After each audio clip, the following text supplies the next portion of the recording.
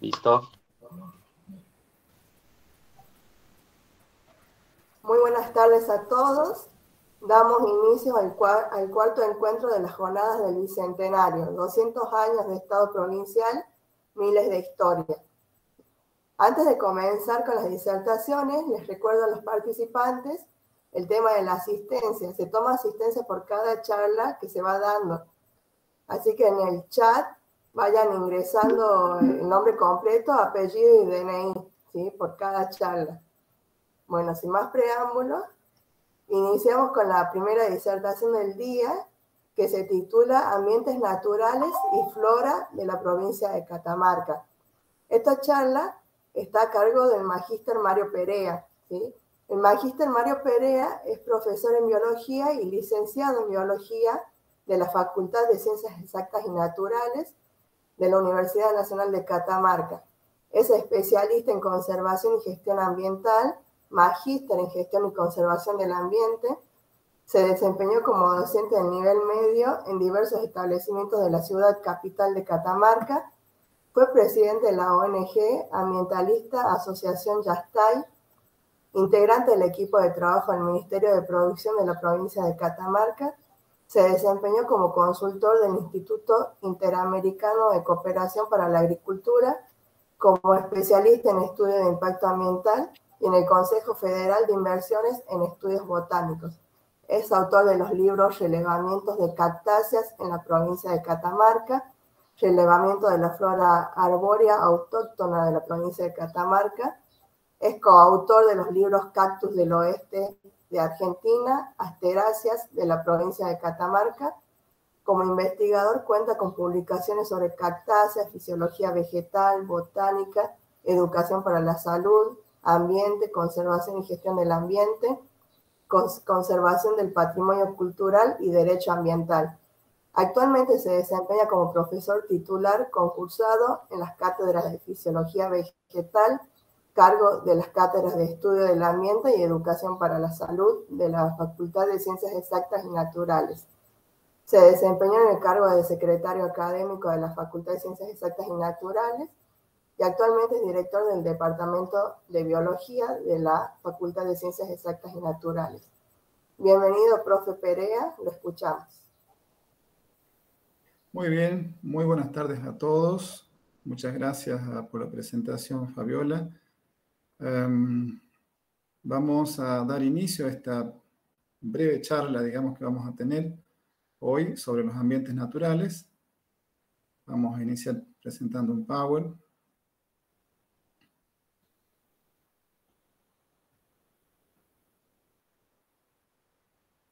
Por favor, si me confirman si ya lo están visualizando. Sí, se ve bien. Se ve bien, bueno. Bueno, eh, como les decía, recién vamos a, vamos a tratar de charlar brevemente sobre eh, cómo es la provincia de Catamarca en cuanto a sus ambientes naturales y cuál es su riqueza florística. Y vamos a tocar un poquitito también de, fauna. Este, yo soy más bien especialista en la parte de flora, pero este, obviamente que uno recorriendo la provincia de Catamarca no puede ignorar a estos elementos tan importantes como, como es la fauna, ¿no?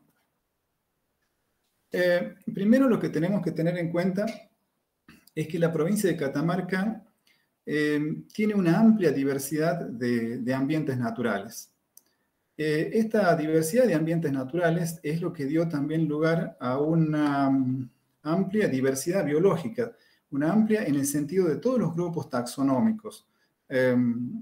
si hablamos de, animales, si hablamos de plantas, este, si hablamos de animales superiores, de plantas inferiores, digamos, todos los grupos están ampliamente representados. Esto se da ¿por qué? Por este contraste que estamos viendo en esta diapositiva, por ejemplo, que tenemos acá.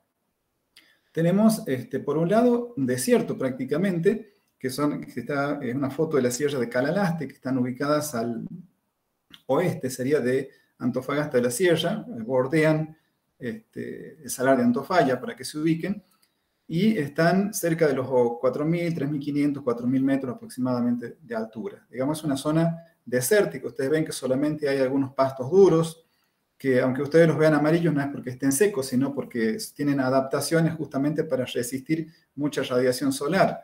Eh, tienen carotenoides este, que le dan ese, tono amarillo, pero no es porque estén secos, están perfectamente vivos. Son las únicas pasturas que, hay ahí. Uno, habla de una estepa herbácea, en este caso, en, esas zonas desérticas. Y por el otro lado tenemos otro ambiente que contrasta con este, que es el ambiente de selva, un ambiente, un ambiente yungueño que se da más bien al noreste de la provincia de Catamarca. Entonces, pasando por todo ese abanico de ambientes, em, es que se desarrolla nuestra amplia eh, flora nativa este, de la provincia de Catamarca y con mucho, en muchos casos con algunos endemismos, es decir, especies que solamente viven en el territorio de la provincia de Catamarca.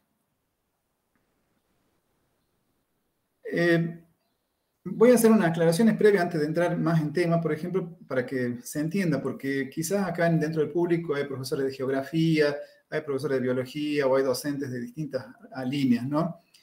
Y cada uno divide el territorio por ahí de una manera distinta. Entonces, este, vamos, yo lo que les quiero comentar es cómo dividimos los ecólogos, los biólogos, el territorio.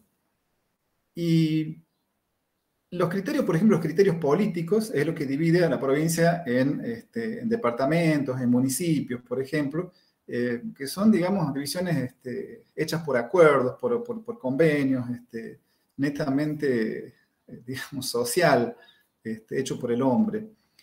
Y hay otros criterios que, por ejemplo, son criterios regionales, que es para una facilidad de manejo en cuanto a la gestión de la provincia de Catamarca, se lo suele dividir en región este, región centro y región oeste. Nada más que para dividir la provincia en tres áreas y saber qué, a qué se refieren en cada lado. Pero nosotros, eh, este, los que estamos en el ambiente de la biología, de la ecología, eh, lo dividimos de otra manera y nosotros tomamos como criterio en los tipos de vegetación que tiene. Los tipos de vegetación significa, digamos, cómo es ese, ese paisaje que nosotros vemos, eh, independientemente de la diversidad de especies que pueda haber en ese paisaje, es decir, cuál es la visión que nosotros tenemos. Tenemos una visión de una selva, de un desierto, de un espinal, de un bosque, por ejemplo. Nosotros vemos un, vemos un bosque, independientemente si ese bosque es de algarrobo, de mistol, de alisos o de pino del cerro. Nosotros vemos un bosque. Entonces, este, entonces tomamos, digamos, e-, ese criterio, digamos, el tipo de vegetación eh, característica y las características propias de ese ecosistema. ¿Y qué cosas, de qué va a depender la vegetación en esa zona? La, vegetación va a depender de factores tantos como la altitud, por ejemplo, que eso nos va a determinar una temperatura. Ustedes saben que a mayor altitud, menor temperatura. La presión, a mayor altura, menor presión. La radiación, a mayor altura, mayor radiación solar. Bueno, son factores que tienen que ver sobre los aspectos biológicos. Eh, la temperatura, bueno, si es caliente o frío, los animales y las plantas tendrán que estar adaptados a ese ambiente. A la presión, recuerden que la, presión es el peso que la atmósfera ejerce sobre la superficie de la Tierra. Y eh, no es lo mismo una planta creciendo acá en el Valle Central, donde estamos a 520 y tantos metros de altura sobre el nivel del mar, que la misma planta, por ejemplo, creciendo en, las sierras del Manchao a más de 4.000 metros, por ejemplo. Entonces, eh, eso tiene una incidencia que hace también al tipo de plantas que va a haber y a cómo se, se adaptan o no. Y la radiación, obviamente, hace un momento yo cuando veía la foto de la sierra de Calalaste, le decía, mire, hay plantas que tienen que adaptarse y tienen que sintetizar algunos pigmentos especiales para poder vivir y, evitar que la clorofila se fotooxide y, y, las pueda matar a las plantas. Entonces se adaptan a eso. Y también tiene que ver esta vegetación con las precipitaciones y cuánto llueve en el lugar. Eh, Antofagasta de la Sierra no debe pasar los 150 milímetros anuales. Eh, acá en el Valle Central estamos con una media de 400 y algo. Em, en la zona de la Viña, por ejemplo, registrado, tienen más o menos más de 1000 mililitros este, eh, este, de, de, precipitación. Y algunas cosas raras que ya, ya vamos a analizar porque un poquito es, por ejemplo, que en las sierras de Belén uno puede decir, en la Sierra de Zapata de Belén, que está eh, metida entre ambientes áridos para un lado y para el otro, y hay 700 mililitros de precipitación, prácticamente lo mismo que hay en el rodeo. Entonces, la vegetación que puede haber en el norte chico de Belén, por ejemplo, es muy parecida quizás a la que puede haber en el rodeo. O fíjense ustedes que salvando las distancias, eh, a veces la vegetación puede repetirse dependiendo de las precipitaciones que hayan en ese lugar. Bueno, la evaporación, digamos, qué capacidad de, evaporación, de densidad con cobertura del suelo, eh, cuánto viento hay en la zona. Son todos que tienen que ver con, con la vegetación, o sea, este criterio que nosotros usamos para dividir el territorio de la provincia de Catamarca. Pero veamos un poquito a qué se debe que yo les decía al comienzo que hay una diversidad muy amplia de especies. Yo acá en esta imagen satelital tomada del Google hice un corte, esa línea roja, por ejemplo, que ustedes la ven ahí, estoy cortando em, más o menos em, a la altura de las chacritas y paso por el norte de, por el, por el sur de Fiambalá, por ejemplo, hago un corte. Y lo que ustedes ven abajo es un perfil. Entonces, tienen acá abajo en, esta zona, ustedes van a tener las primeras sierras que vienen del este, ¿sí? Eh, después tenemos este, acá una parte que sería del, eh, Cerro Ambato, digamos, del, sistema del Ambato en esta zona. Después está el gran valle del Bolsón de Pipanaco, pero acá me quiero detener un poquito. Por ejemplo, ustedes saben que acá las precipitaciones, generalmente las lluvias, la nubosidad, viene de la zona eh, noreste, o sea, de la zona de esta donde estoy marcando ahora con la flechita, por acá entran las precipitaciones y las lluvias van a caer en este primer cordón montañoso que acá, eh, después de Lancaster, están las sierras de Guayamba, por ejemplo, que este, van a recibir las primeras precipitaciones y por eso es lo que en ese lugar se desarrolla una, eh, una selva, ¿sí? una selva, este, una selva montana más precisamente. Pero la nubosidad, no, esa es la nubosidad más baja que viene, pero hay nubosidad que es un poco más alta y que va a pasar por encima de las sierras de Guayamba, por ejemplo, o sierras de Narváez, si es un poco más, este, más al norte. O sea, parte va a volcar el agua ahí y la otra parte va a seguir la nubosidad por arriba. Entonces hay otra nubosidad que va a pasar acá, toda esta zona. Acá hay unos, pequeños vallecitos acá y va a volcar, por ejemplo, acá en la zona del Ambato, y en esta zona del Ambato va a dar lugar a formaciones como bosques, por ejemplo, que estos son los bosques de pinos que están en las juntas, por ejemplo, o los bosques de aliso, un poco en la zona de las chacritas, por ahí, toda esa zona. ¿Por qué? Porque van un poco más, más arriba las nubes, entonces vuelcan el agua en una franja que va entre los 2.000 y los 2.500 metros de altura. Las sierras de Guayamba no llegan a esa altura, están mucho más bajo. Entonces, el agua se va a volcar, esa, esa agua, esas nubes que alcanzaron a pasar, vuelcan el agua acá en, la zona alta de la altura del rodeo, la altura de las juntas, por ejemplo, formando un bosque. Y un poco más arriba forman unas praderas, que son prados que corresponden a uno de los pisos de las yungas, o lo que se llaman también como pastizales de neblina. Eh, son esas formaciones que van a dar ahí, con una, lugar en ese, que van a desarrollarse en ese lugar, pero con una eh, flora determinada, digamos, con unas características propias de ese lugar. Bueno, pero hay nubes que pasan inclusive por encima del cerro y van a volcar agua para el otro lado, digamos ya para acá, para acá están las sierras de Belén, por ejemplo, están las sierras de Belén y las sierras de Fiambalá. Son bastante altas estas sierras también, pero hay otras, hay nubes que van, entonces aquí les hablaba hace un momento del norte de Belén, por ejemplo, porque este, el norte, de, norte chico de Belén tiene mucha humedad, porque en la otra diapo creo que la vamos a ver un poco mejor eso, acá, por ejemplo, en esta diapo, que es un corte un poquito más eh, al norte, eh, acá tenemos que, eh, acá teníamos todo el bolsón de Pipanaco, tenemos Andalgalá, y acá las nubes que venían de acá, que estaban a la altura de, esto sería el Alamito, toda la zona de esta de Andalgalá, las nubes que lograron pasar van a volcar el agua en esta zona, en estas sierras de Belén que están acá, por acá, por esta zona. Entonces, acá donde se va a producir una precipitación importante de las nubes que venían más altas. Y eso es lo que hace que el norte chico de Belén sea más húmedo, por ejemplo, o que hacen que el río Quimibil sea un río que no se corte, que no se corte el agua prácticamente en todo el año. De hecho, está pensado algunas obras este, como diques en esa zona, precisamente aprovechando esta característica del río Quimibil, que es que no se corta el agua. Y bueno, pero hay nubes que logran pasar todavía para el otro lado que pasan a la altura un poco ya al norte de Fiambalá o para la altura de Fiambalá, y ahí se quedan embolsadas en el valle de Fiambalá toda esa nubosidad, pero las precipitaciones se producen todo lo que es la zona que se conoce como la herradura, a una determinada altitud, que ya anda cerca de los 2.000 metros, un poco más quizás, 2.000 hasta 3.000 metros más o menos, y acá en esta zona hay una franja verde. Si alguna vez van a Fiambalá o van a Palo Blanco, recorren Tatón, por ejemplo, eh, y si tienen la oportunidad de pasar, por ejemplo, por pasar desde acá, desde Palo Blanco, pasar a Antofagasta de la Sierra, por el campo de Piedra Pome, van a ver, van a pasar por una zona húmeda, van a pasar por una zona que tiene mucha vegetación. Y es una zona de mucho interés biológico porque esta zona que estoy marcando ahora, por ejemplo, que es de Palo Blanco, un poco al oeste, prácticamente no está explorada. Entonces no sabemos exactamente qué especies hay. En esta zona hay unas muchas especies que son compatibles con la puna húmeda de Jujuy, por ejemplo. Miren ustedes qué raro que aparezca eso acá. Este, entonces, y acá miren el perfil abajo.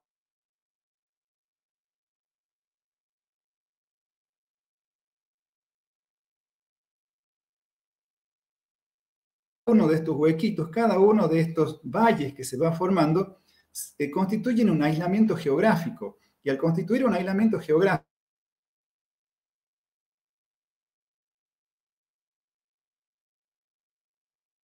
horizontal con otros ambientes, a no ser que sea por alguna ave o algún eh, mamífero que pueda dispersarlos. Este, y eso hace que sea muy rico la provincia de Catamarca en cuanto a ambientes, em, en cuanto a ambientes naturales y también en cuanto a diversidad biológica. Yo les diría que somos comparables dentro del contexto de las provincias argentinas, somos solo comparables con la provincia de Salta.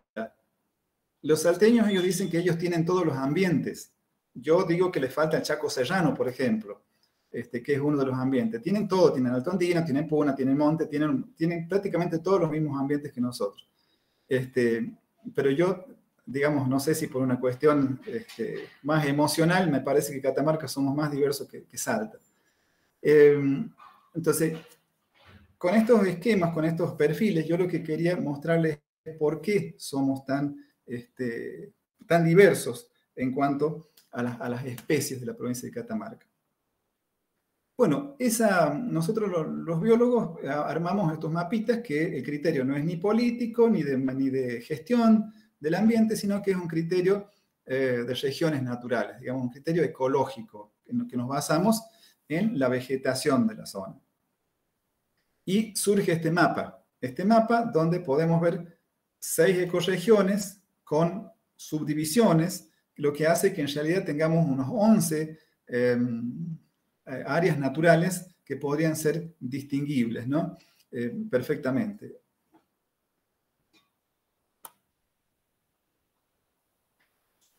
Antes de seguir, quiero eh, referirme a ver a cuáles son los riesgos. Está bien, tenemos muchas especies, tenemos ambientes muy específicos, em, tenemos este, muchos recursos, pero a ver, esos recursos, ¿qué está pasando hoy? hay factores, casi todos ellos, o todos ellos antrópicos, digamos, que están incidiendo en, la, supervivencia, inclusive en la disminución de las poblaciones de estas este, especies vegetales y también eh, animales.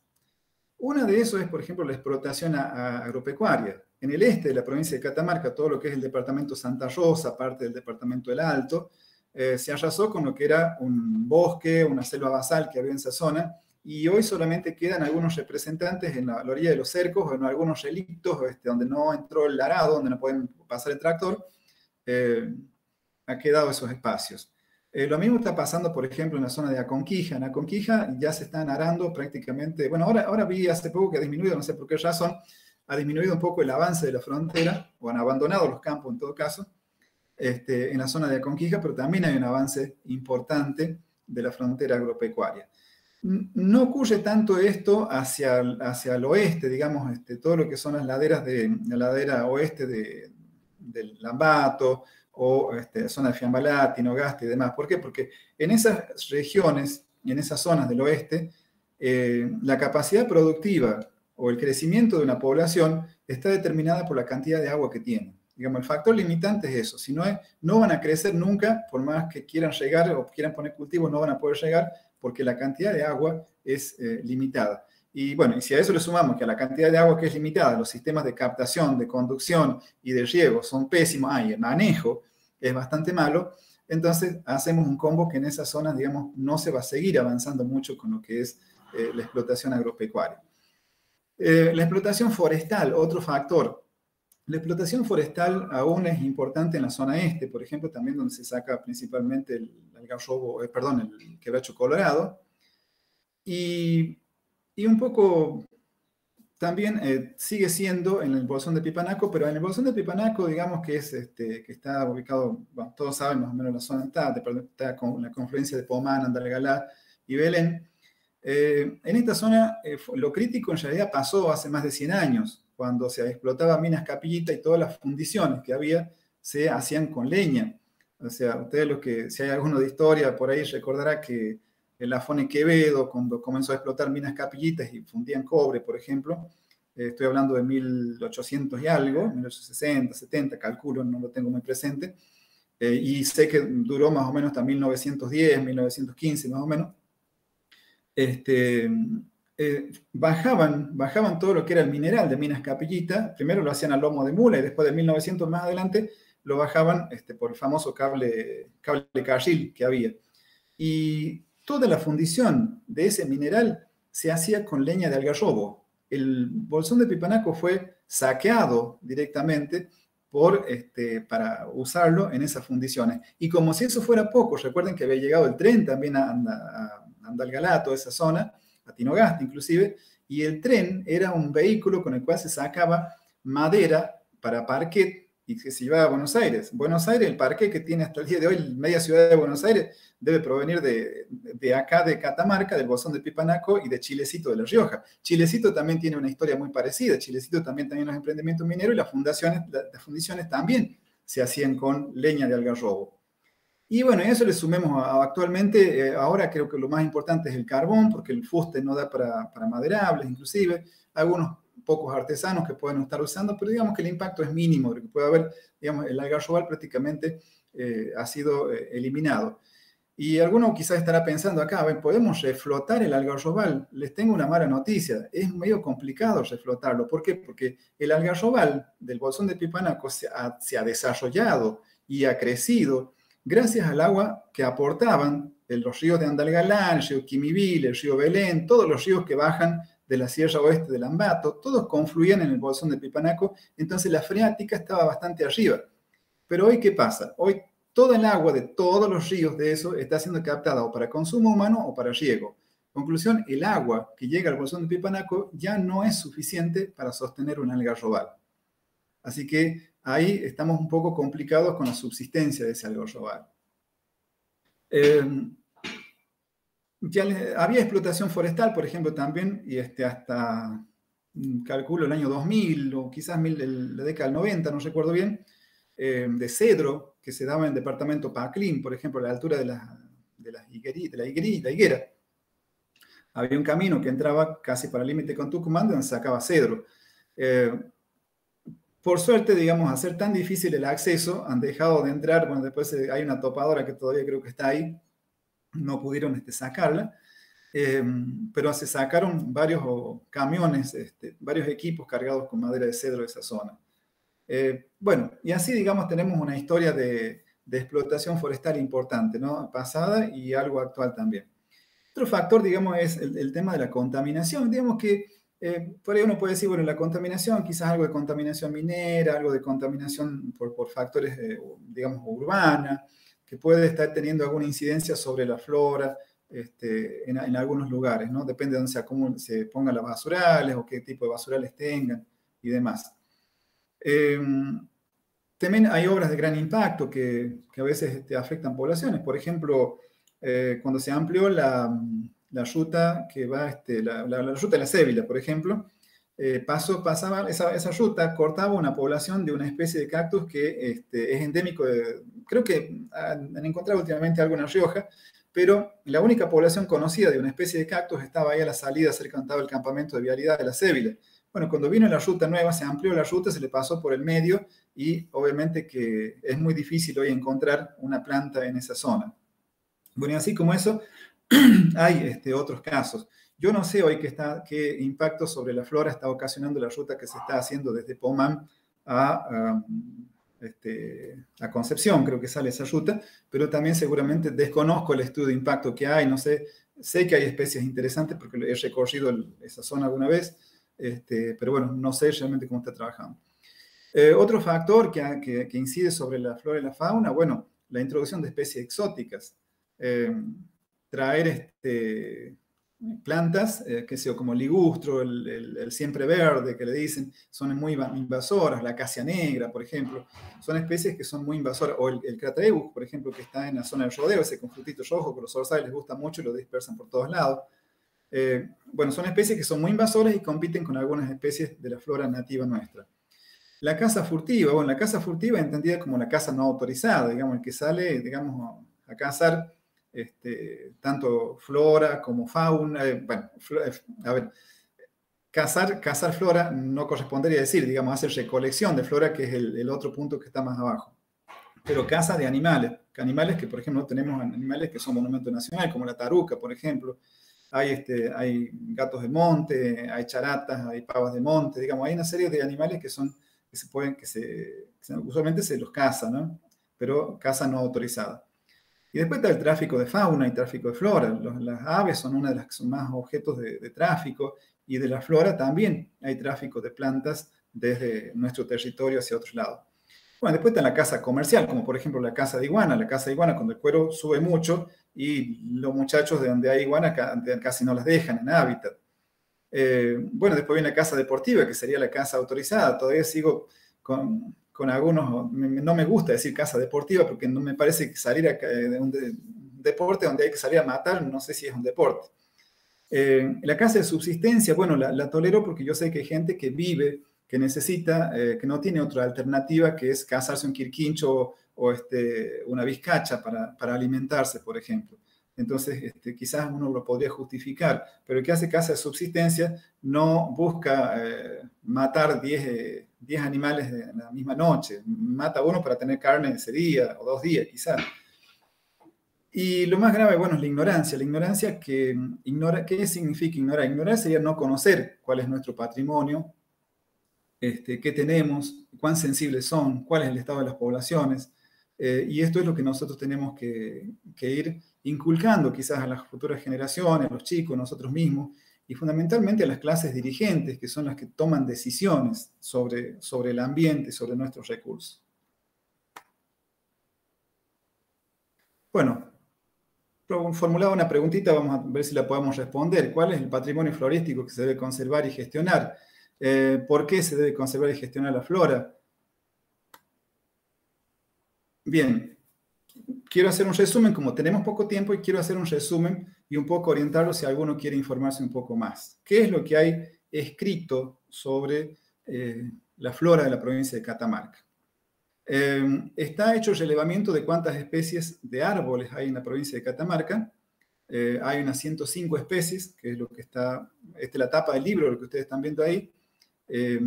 y en ese libro están los mapas de distribución, el estado de conservación, las amenazas, los usos, todo está contenido en ese libro.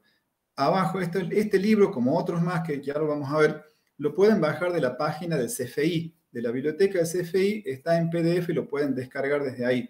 La versión papel no está, no está actualmente, este, no se comercializó, digamos, este, eh, lo hizo hacer la provincia y después no sabemos qué, qué más pasó con esto. Pero están las versiones PDF, las pueden consultar perfectamente y abajo hay un enlace, pero cuando ustedes la quieran buscar, busquen, busquen como, con ese título, Flora Arbórea de Autóctona de Catamarca, y en la página de CFE hay una biblioteca y ahí la pueden descargar. Otra publicación que también está en internet, que está en la página de la Universidad de La Plata, es este, la de Asteráceas de la provincia de Catamarca. También, fíjense ustedes, acá, estamos, acá se relevaron 381 especies de asteráceas. Asteráceas son estas que parecen un solcito la flor, ¿no? como las que yo hice, ese tipo, esas son las asteráceas. 381 especies de esta, de esta familia, nada más en la provincia de Catamarca. También hay un enlace ahí, fíjense que está el enlace, eh, lo pueden buscar con ese número y les va, los va a mandar a la página esta de la Universidad de La Plata. Está hecho también el relevamiento de cactáceas de la provincia de Catamarca, donde se ubicaron 72 especies, se lograron identificar 72 especies, y, e inclusive se descubrió una nueva especie que fue publicada a posteriori, que esta especie, que es la que ustedes tienen acá, este, la descubrimos en ese relevamiento, pero no está publicada en el libro porque en realidad no, la teníamos identificada. Hicimos toda la parte científica que corresponde y recién cinco años después que salió el libro la pudimos publicar. Y hay algunas especies que son endémicas también en cactus. Por ejemplo, esta flor amarilla que ustedes ven acá, que es de Tinogasta, que ni la misma gente de la zona sabe que existe en ese lugar, porque cuando yo estuve haciendo el relevamiento, eh, mostré una planta a un habitante de la zona y ellos nunca la habían visto, por ejemplo. Entonces, o sea que este, hay un desconocimiento también de los recursos propios que tienen alguna especie. Este libro también está en la biblioteca CFI y también lo pueden bajar de ahí, digamos, para obtener más información sobre esta familia de plantas en la provincia de Catamarca. ¿Qué no sabemos de la flora? Y yo, miren, en realidad llego a la conclusión que sabemos muy poco. Por ejemplo, no sabemos cuántas especies arbustivas ni cuáles son. No sabemos de las herbáceas, que son muchísimos más y que habría que trabajarlas por familia, quizás. No sabemos nada de las enredaderas, tampoco. No sabemos nada de los líquenes, de los hongos, que son un mundo aparte, digamos, de las algas. Tampoco sabemos de briofitas, o sea, de los musgos, de todos esos grupos de las bromeliáceas, como los chaguares, todo ese tipo de otras, todas las tilancias, todos los clavel del aire. No sabemos a ciencia cierta cuántas especies tenemos, dónde están.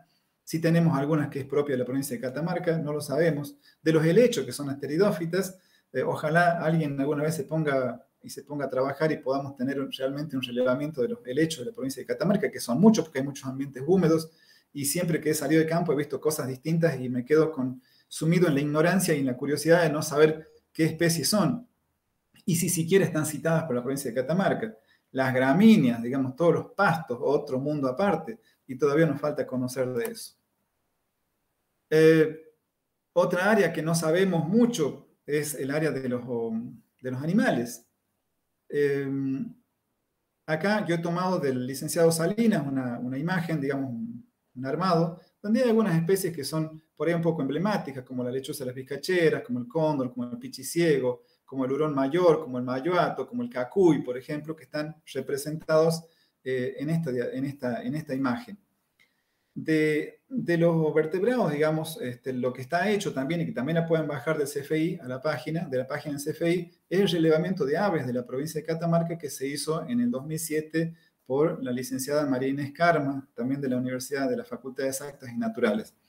Eh, este también lo pueden descargar y em, tiene, creo, si mal no recuerdo, detectaron alrededor de 400 especies de aves para la provincia de Catamarca. Eh, así que, mire, y algunas especies muy endémicas, especies migratorias también dentro de, ese este, patrimonio de la provincia de Catamarca. También dentro de los animales falta em, determinar em, riqueza de, mamíferos. No sabemos cuántos mamíferos. Miren, por ejemplo, acá tenemos alguna imagen. Yo puse acá una imagen de un oso melero. Esto porque siempre recuerdo que eh, en algún diario salió hace unos años que habían encontrado un animal en el portezuelo y que estaban muy preocupados porque no sabían qué cosa era, porque no era, no era ni un gato, no era ni un perro, no era ni una vizcacha, no era nada, y tenía un hocico largo y nadie sabía qué era. Bueno, este, se trataba de un oso melero que habían encontrado y que es un habitante común, nada más que por ahí no es muy conspicuo, digamos, no se ve a simple vista, este, y a veces un poco presionado por la destrucción de hábitat comienzan a aparecer en algunos lugares, en zonas este, más urbanas, ¿no? Em, y así como este mamífero, hay otros mamíferos. Eh, hace unos días estaba circulando en Facebook eh, dos notas interesantes. Una de la, cita del hurón mayor para, para Catamarca o Sachamono, que sí sabíamos que estaba porque habíamos visto huesos, habíamos visto cráneos por ahí. Y de uno de los gatos este, grandes también, digamos, que también se creían este, eh, que no estaban dentro de la provincia de Catamarca o había dudas, donde un chico que es biólogo también, Gonzalo, también este, hizo la nota y lo habían podido detectar dentro del territorio de la provincia de Catamarca. O sea, hay cosas que todavía no sabemos este, a ciencia cierta si están o no están y hasta que alguien no se pone a trabajar y los detecta. Sobre los reptiles, o sea, todo lo que es chelcos, víboras y todo ese tipo de cosas, este, tampoco hay un, censo exactamente. Eh, sabemos, lo, que estamos en el ambiente de la biología, sabemos que hay qué, tipos de víboras hay, pero no sabemos cuáles son los territorios donde están. eh, no sabemos si hay otras especies, no sabemos si hay variedades, por ejemplo, eh, y seguimos matando a todo lo que no tiene patas, lo matamos directamente porque consideramos que es, malo. Lo que tiene en la foto, por ejemplo, es una musarana, que en realidad es una, es una culebra. Y una culebra que realmente es una ayuda porque se come ratas, porque se comen eh, otros animales que podrían sí ser peligrosos indirectamente. Y sin embargo, porque la vemos grande, larga y negra, lo que hacemos la matamos, ¿no? y para nada. Y lo mismo si ven una empalagua o cuántas veces nos matan una víbora zapera en la casa pensando que es una yarará porque tiene colores parecidos. Eh, también tenemos que aprender sobre eso, digamos, reconocer un poco cuáles son reptiles, cuáles realmente son peligrosos y cuáles realmente no son peligrosos. Eh, sobre los anfibios, eh, en este caso, bueno, acá un bufo, digamos, un sapo, el sapo rococo, que esto en una salida de alumnos de biología, bueno, encontramos uno, y que lo están, lo están mostrando acá. Pero bueno, hay llanas, hay escuerzos, este, inclusive hay, hay algunas citas de, de, de, de las que son de que llevan las crías en la espalda, por ejemplo, en la zona de Andalgalá, en zona de Clavillo, por ejemplo, pero bueno, yo personalmente no las he visto todavía, pero sé que hay gente que las está buscando porque hay citas de esas ahí. Pero no tenemos un catálogo todavía de cuáles son los anfibios de la provincia de Catamarca. Como así tampoco tenemos de los, que, este, de los peces. ¿sí? Eh, yo no tengo mucha noción de cómo estamos con el tiempo, creo que nos estamos pasando, así que yo voy a ir avanzando rápido. Um, bueno, después tenemos otro grupo grandísimo, que es el grupo de los artrópodos, por ejemplo. Acá saqué de una tesina de unos alumnos algunas imágenes, por ejemplo, para mostrarles, y con esto eh, voy a tratar de sellar con una imagen eh, de dos cosas que a mí me gustan mucho. uno de los animales de Catamarca, que es el cóndor real, y, otra, y una planta que este, es un cactus, eh, que se llama Lobia de Boniay y que es del departamento Tinogasta. Así que muchas gracias a todos eh, por su atención. Muchísimas gracias, profe. Profe, muy clara su exposición. Excelente como ya nos tiene acostumbrado a los que fuimos sus alumnos, ¿no? Eh, les voy a leer algunas preguntas que han estado llegando bueno, al chat. Bueno. bueno Francisco Aldeco dice, buenas tardes, mi consulta es si la distribución climática de la provincia siempre fue así o si hubo algún cambio en poco tiempo, por ejemplo en los últimos 50 años. No, no hay, no hay, un cambio que sea, que sea notable, digamos, que, sea, que uno pueda atribuirlo este, a algún factor antrópico actual, ¿verdad? Cambios importantes. Sí, sí hay ciclos, hay que considerar que hay ciclos. Dentro de lo que es el clima, por ejemplo, hay ciclos. Quienes somos más viejitos, por ejemplo, recordaremos que en la década del 70, 74, 75 más o menos, hubo un ciclo húmedo, por ejemplo donde prácticamente salía agua de cada piedra que levantábamos, salía agua, pisábamos y estaba todo muy húmedo. Pero son ciclos naturales que van sucediendo. No sabemos cuál es la recurrencia, si cada 30, 50, 100 años no, tenemos todavía mucho registro de cuál es la recurrencia. Sí hay cambios eh, puntuales a veces que puede deberse, como por ejemplo en el año 2005, en el Valle Central, eh, teníamos, prácticamente vivíamos en la nube de tierra. Pero ¿por qué estábamos en una nube tierra? Podríamos adjudicarlo a una cuestión climática. No, ¿saben por qué? Porque se estaba construyendo lo que es actualmente el predio ferial y no se adoptaron las medidas de mitigación que eran necesarias en aquel momento y toda la tierra, el viento norte, toda la tierra la desparramaba sobre la ciudad de San Fernando del Valle de Catamarca. Había 240 casos de enfermedades respiratorias en el hospital de niños por día, con el costo económico que eso significa. Entonces, a veces no hay cambios, no hay cosas que podamos decir que obedece a un cambio climático, sino que son cambios por razones antrópicas o por razones cíclicas. Perfecto, profe. Aquí hay otra pregunta de Vanessa Silva. Dice, ¿qué hay respecto a la ley de presupuestos mínimos de bosques nativos? ¿Se respeta? Eh, bueno, la, primero que está, bueno, está sancionada la ley, está vigente la ley y eh, se supone que el Estado provincial, a través de las áreas respectivas, tiene que hacer el cumplimiento, tiene que llevar a cabo el cumplimiento de esta ley. Em, en muchos casos lo que yo observo es que se viene con el hecho consumado. Se viene el propietario de la tierra a pedir la autorización de desmonte cuando ya desmontó, por ejemplo. Eh, entonces, ahí se genera un problema. Este, ¿Por qué? Porque ¿qué tiene que hacer el Estado? Bueno, ya hiciste, ya sacaste todo y lo van a tener que autorizar, digamos que ya está con todo desmontado, por ejemplo. Em, se cumple en, otro aspecto, por ejemplo, todo lo que es este, en la zona de Totoral, por ejemplo, pasó a una categoría de, eh, una categoría de, no recuerdo cómo es la figura que tiene, pero digamos de estricta de, para conservar. Y em, e, se está conservando, el propietario alambró y obviamente que está recibe, recibe lo que corresponde eh, de resarcimiento por esa, por esa zona, sin ser un área de protegida y nada por el estilo, solamente porque quedó en la zona roja se está conservando. Y así hay otras, otras áreas también que se están conservando gracias a la aplicación de esa, de esa ley. Eh, o sea que por un lado, en algunas regiones como la zona este, sigue siendo complicado el cumplimiento de la ley, pero en otros lados donde no hay un interés económico, por ejemplo, porque, qué sacar cedro es más caro, es carísimo, por ejemplo, de sacar de, de la zona del entonces, bueno, es más fácil que esté conservado. Bien, profe, súper clara su explicación. Eh, acá hay otra pregunta. ¿Qué sugiere que haya, qué sugiere para que haya mayor conocimiento de ese patrimonio de flores, de flora y fauna?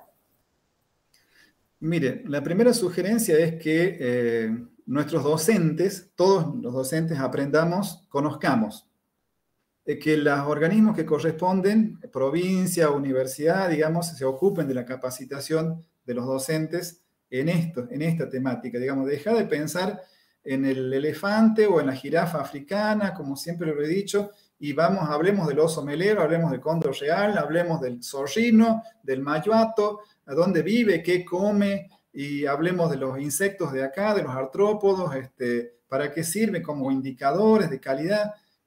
Veamos cómo, cómo, cómo, es, cómo funciona nuestro ecosistema, para que eso podamos irlo trasladando a las aulas, ¿verdad? Entonces, dejamos de mirar, mirar afuera y miremos un poco nuestra provincia, que es maravillosa las cosas que tiene y es increíble los fenómenos biológicos que podemos observar este, en nuestro territorio. Basta con salir ahí unos cuantos metros de acá de la ciudad en el valle y ya nos encontramos con algunas sorpresas. Hay que saberlas interpretar y para saber interpretar hay que conocer. Y para conocer, lo primero que tenemos que hacer es saber qué no sabemos, porque cuando sabemos lo que no sabemos, vamos a ir, vamos a tratar de saber eh, parece un trabalengua lo que les dice, pero bueno, espero que se entienda. El problema es cuando, no, cuando creemos que sabemos y resulta que no sabemos, o sea, no nos damos cuenta que no sabemos. Bien, profe, súper claro. No es tan trabalengua como dice. bueno, me alegro que hayan entendido. Acá hay muchísimos saludos. Eh, bueno, yo le, le voy a leer algunos. Bueno, excelente exposición, profe. Eh, muy buena la exposición y está muy bueno para tratarla de distintas perspectivas en la primaria para generar, generar conciencia. Felicidades, muy linda temática, excelente disertación. Bueno, algunos saludos entre tantos que están llegando, que son muchísimos y por cuestiones de tiempo no se los puede leer a todos. Bueno, gracias, gracias a todos y por supuesto siempre a disposición. Este, yo he querido dejarles, digamos, como sé que el tiempo es un poco tirano acá, bueno, dejarles a dónde está la información, dónde pueden buscarla, dónde pueden descargarla. Este, y bueno, yo siempre que me habían pedido alguna cosa y que yo tuve lo que necesitaban, siempre lo facilito, porque creo que de eso se trata, que nosotros tenemos que ser facilitadores del conocimiento. Doy fe de eso. la cantidad de libros que hemos pasado cada vez que se los pedía Así que muchísimas gracias, profe, por su predisposición. Gracias a todos. Perdón, Fabiola. Buenas tardes a todos. Eh, quiero hacer un pequeño comentario sobre este espacio. La verdad que cuando yo comentaba conmigo mismo, eh, en mi cabeza, cuando organizaba e ideaba las jornadas, yo decía, ¿hasta qué punto es pertinente que esté ciencias naturales? Porque muchos dirán, y es que, ¿qué hace ciencias naturales en el Bicentenario? Es que esa justamente era lo que yo quería que esté porque lo que estoy viendo en la primera exposición, y seguramente lo veremos en las siguientes, es de que es necesario que nosotros, tomo lo que dijo recién el profesor Perea, conozcamos un poco nuestra provincia, conozcamos cuál es la flora y la fauna propia de nosotros, no irnos a otro lado. Coincido plenamente con lo que dijo de la jirafa y el elefante, porque al final estamos más viendo siempre afuera que viendo para adentro. Y si bien ¿Por qué el título 200 años de Estado provincial, miles de historias?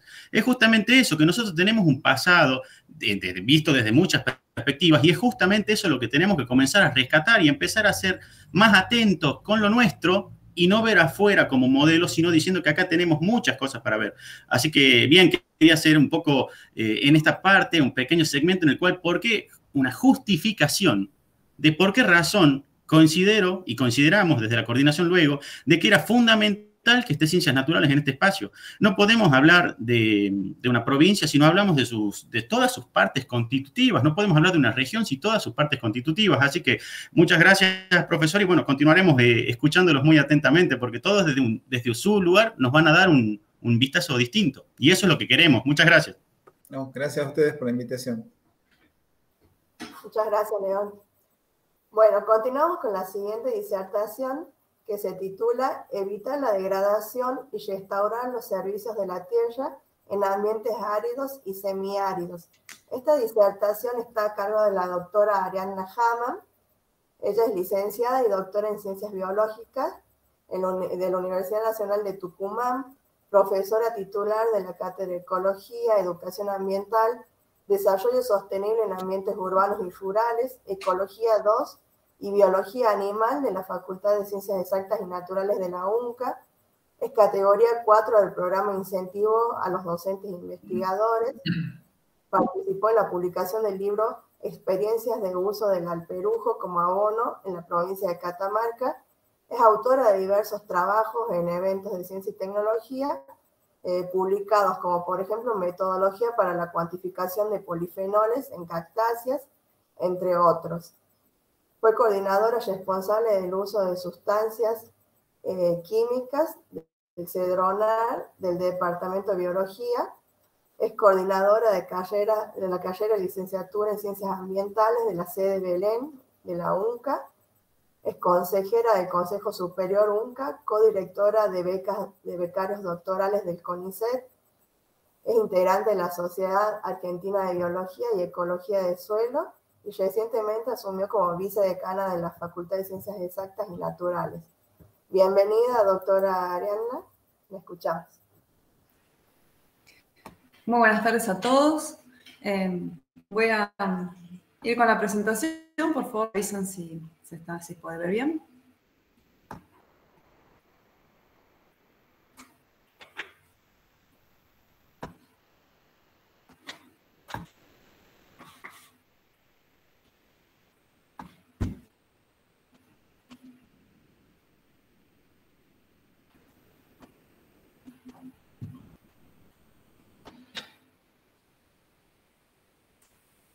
¿Estarían pudiendo ver ahí? Ahí, sí, doctora. Ahí se comienza. Bien.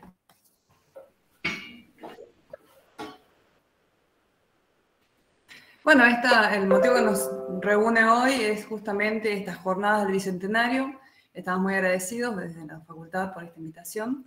Y como bien nos dijo Fabiola, vamos a hablar un poquito acerca de la degradación de los suelos.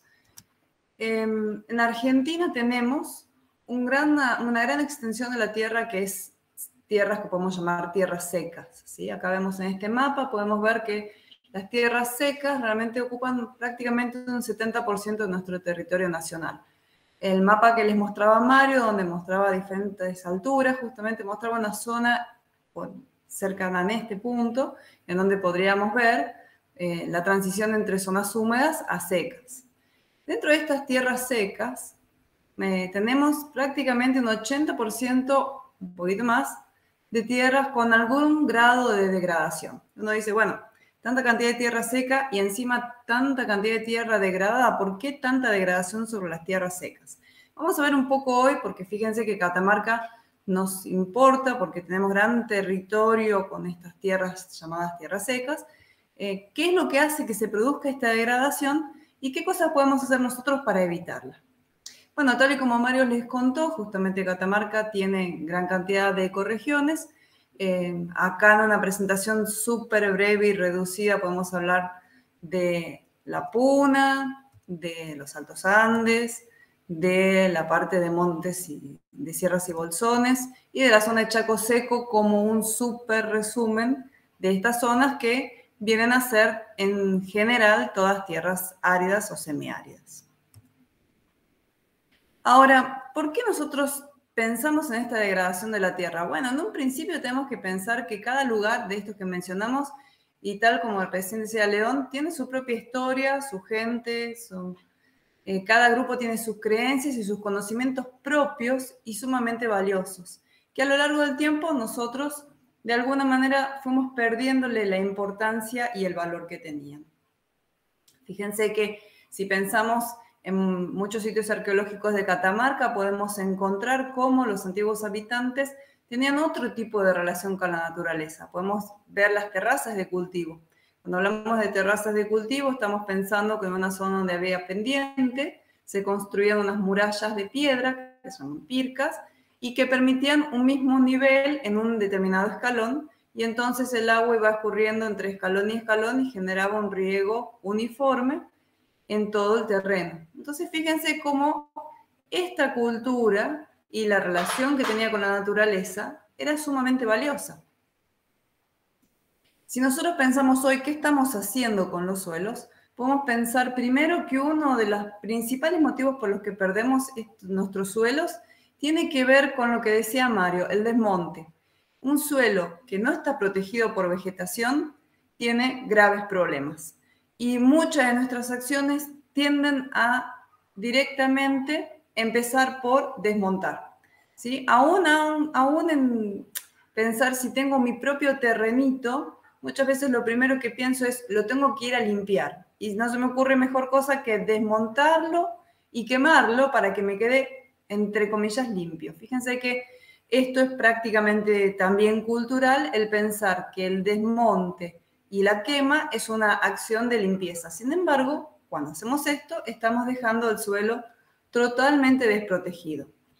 ¿Y qué pasa cuando un suelo está desprotegido? Bueno, habrán visto ya noticias en los diarios, por ejemplo, en Siján, cuando hubo esa semejante crecida y, la, quedó tapado de barro y que hubo eh, graves daños, no solamente materiales, sino en vidas humanas, debido a, este, a estas catástrofes que estuvimos viviendo en la provincia. Y esto está muy relacionado con la falta de vegetación de los suelos, que los deja expuestos a que la lluvia y el viento hagan con el suelo lo que mejor les plazca. Entonces, tenemos aludes y tenemos, tal y como decía Mario, eh, más de 200 chicos al día en el hospital por enfermedades respiratorias porque el viento se está llevando este suelo. ¿Y por qué se lo lleva? Porque nosotros lo dejamos totalmente desprotegido. Entonces, un suelo desprotegido queda directamente expuesto a tres tipos de degradaciones muy importantes. Una es la degradación física. Fíjense acá, en esta imagen podemos ver que el suelo está desprotegido en esta zona y en esta zona vino el agua, vino el viento y se llevaron el suelo. Entonces acá perdimos el suelo. Ahora, la degradación física puede ser tanto por pérdida como puede ser por compactación, por pisoteo, por erosión del suelo. También la degradación eh, que podemos tener, además de física, puede ser química. En este caso estamos viendo una degradación que tiene que ver con la salinización. El mal uso del suelo y la desprotección del suelo hace que los minerales del suelo tengan un desbalance. Y también depende del tipo de uso que le estemos dando y qué tan frecuentemente estemos sembrando y cosechando y qué tipo de aditivos le estemos poniendo al suelo, también le generamos distintos desbalances químicos que terminan en que el suelo se empobrezca. Fíjense que estos, estas variaciones físicas y químicas del suelo van a repercutir directamente en la vida del suelo. Imagínense que, que yo fuera, no sé, una lombriz que vivo en el suelo. Si soy una lombriz que vive en el suelo y me sacan las plantitas que están arriba y le agregan al suelo sustancias que no son propias de ese suelo, em, por ejemplo, para protegerme de malezas, seguramente yo como lombriz me voy a sentir eh, agredida y lo más probable es que si no pueda huir, muera. Lo mismo pasa con las bacterias, lo mismo pasa con los hongos, con todo lo que son microorganismos, meso y macroorganismos propios del suelo. Entonces, fíjense que Un suelo desprotegido, un suelo desnudo, lo perdemos, lo modificamos químicamente y perdemos la biodiversidad. Y la biodiversidad es la que da la vida al suelo, pero la vida en todo sentido, porque sin esta biodiversidad del suelo, el suelo no puede volver a formarse.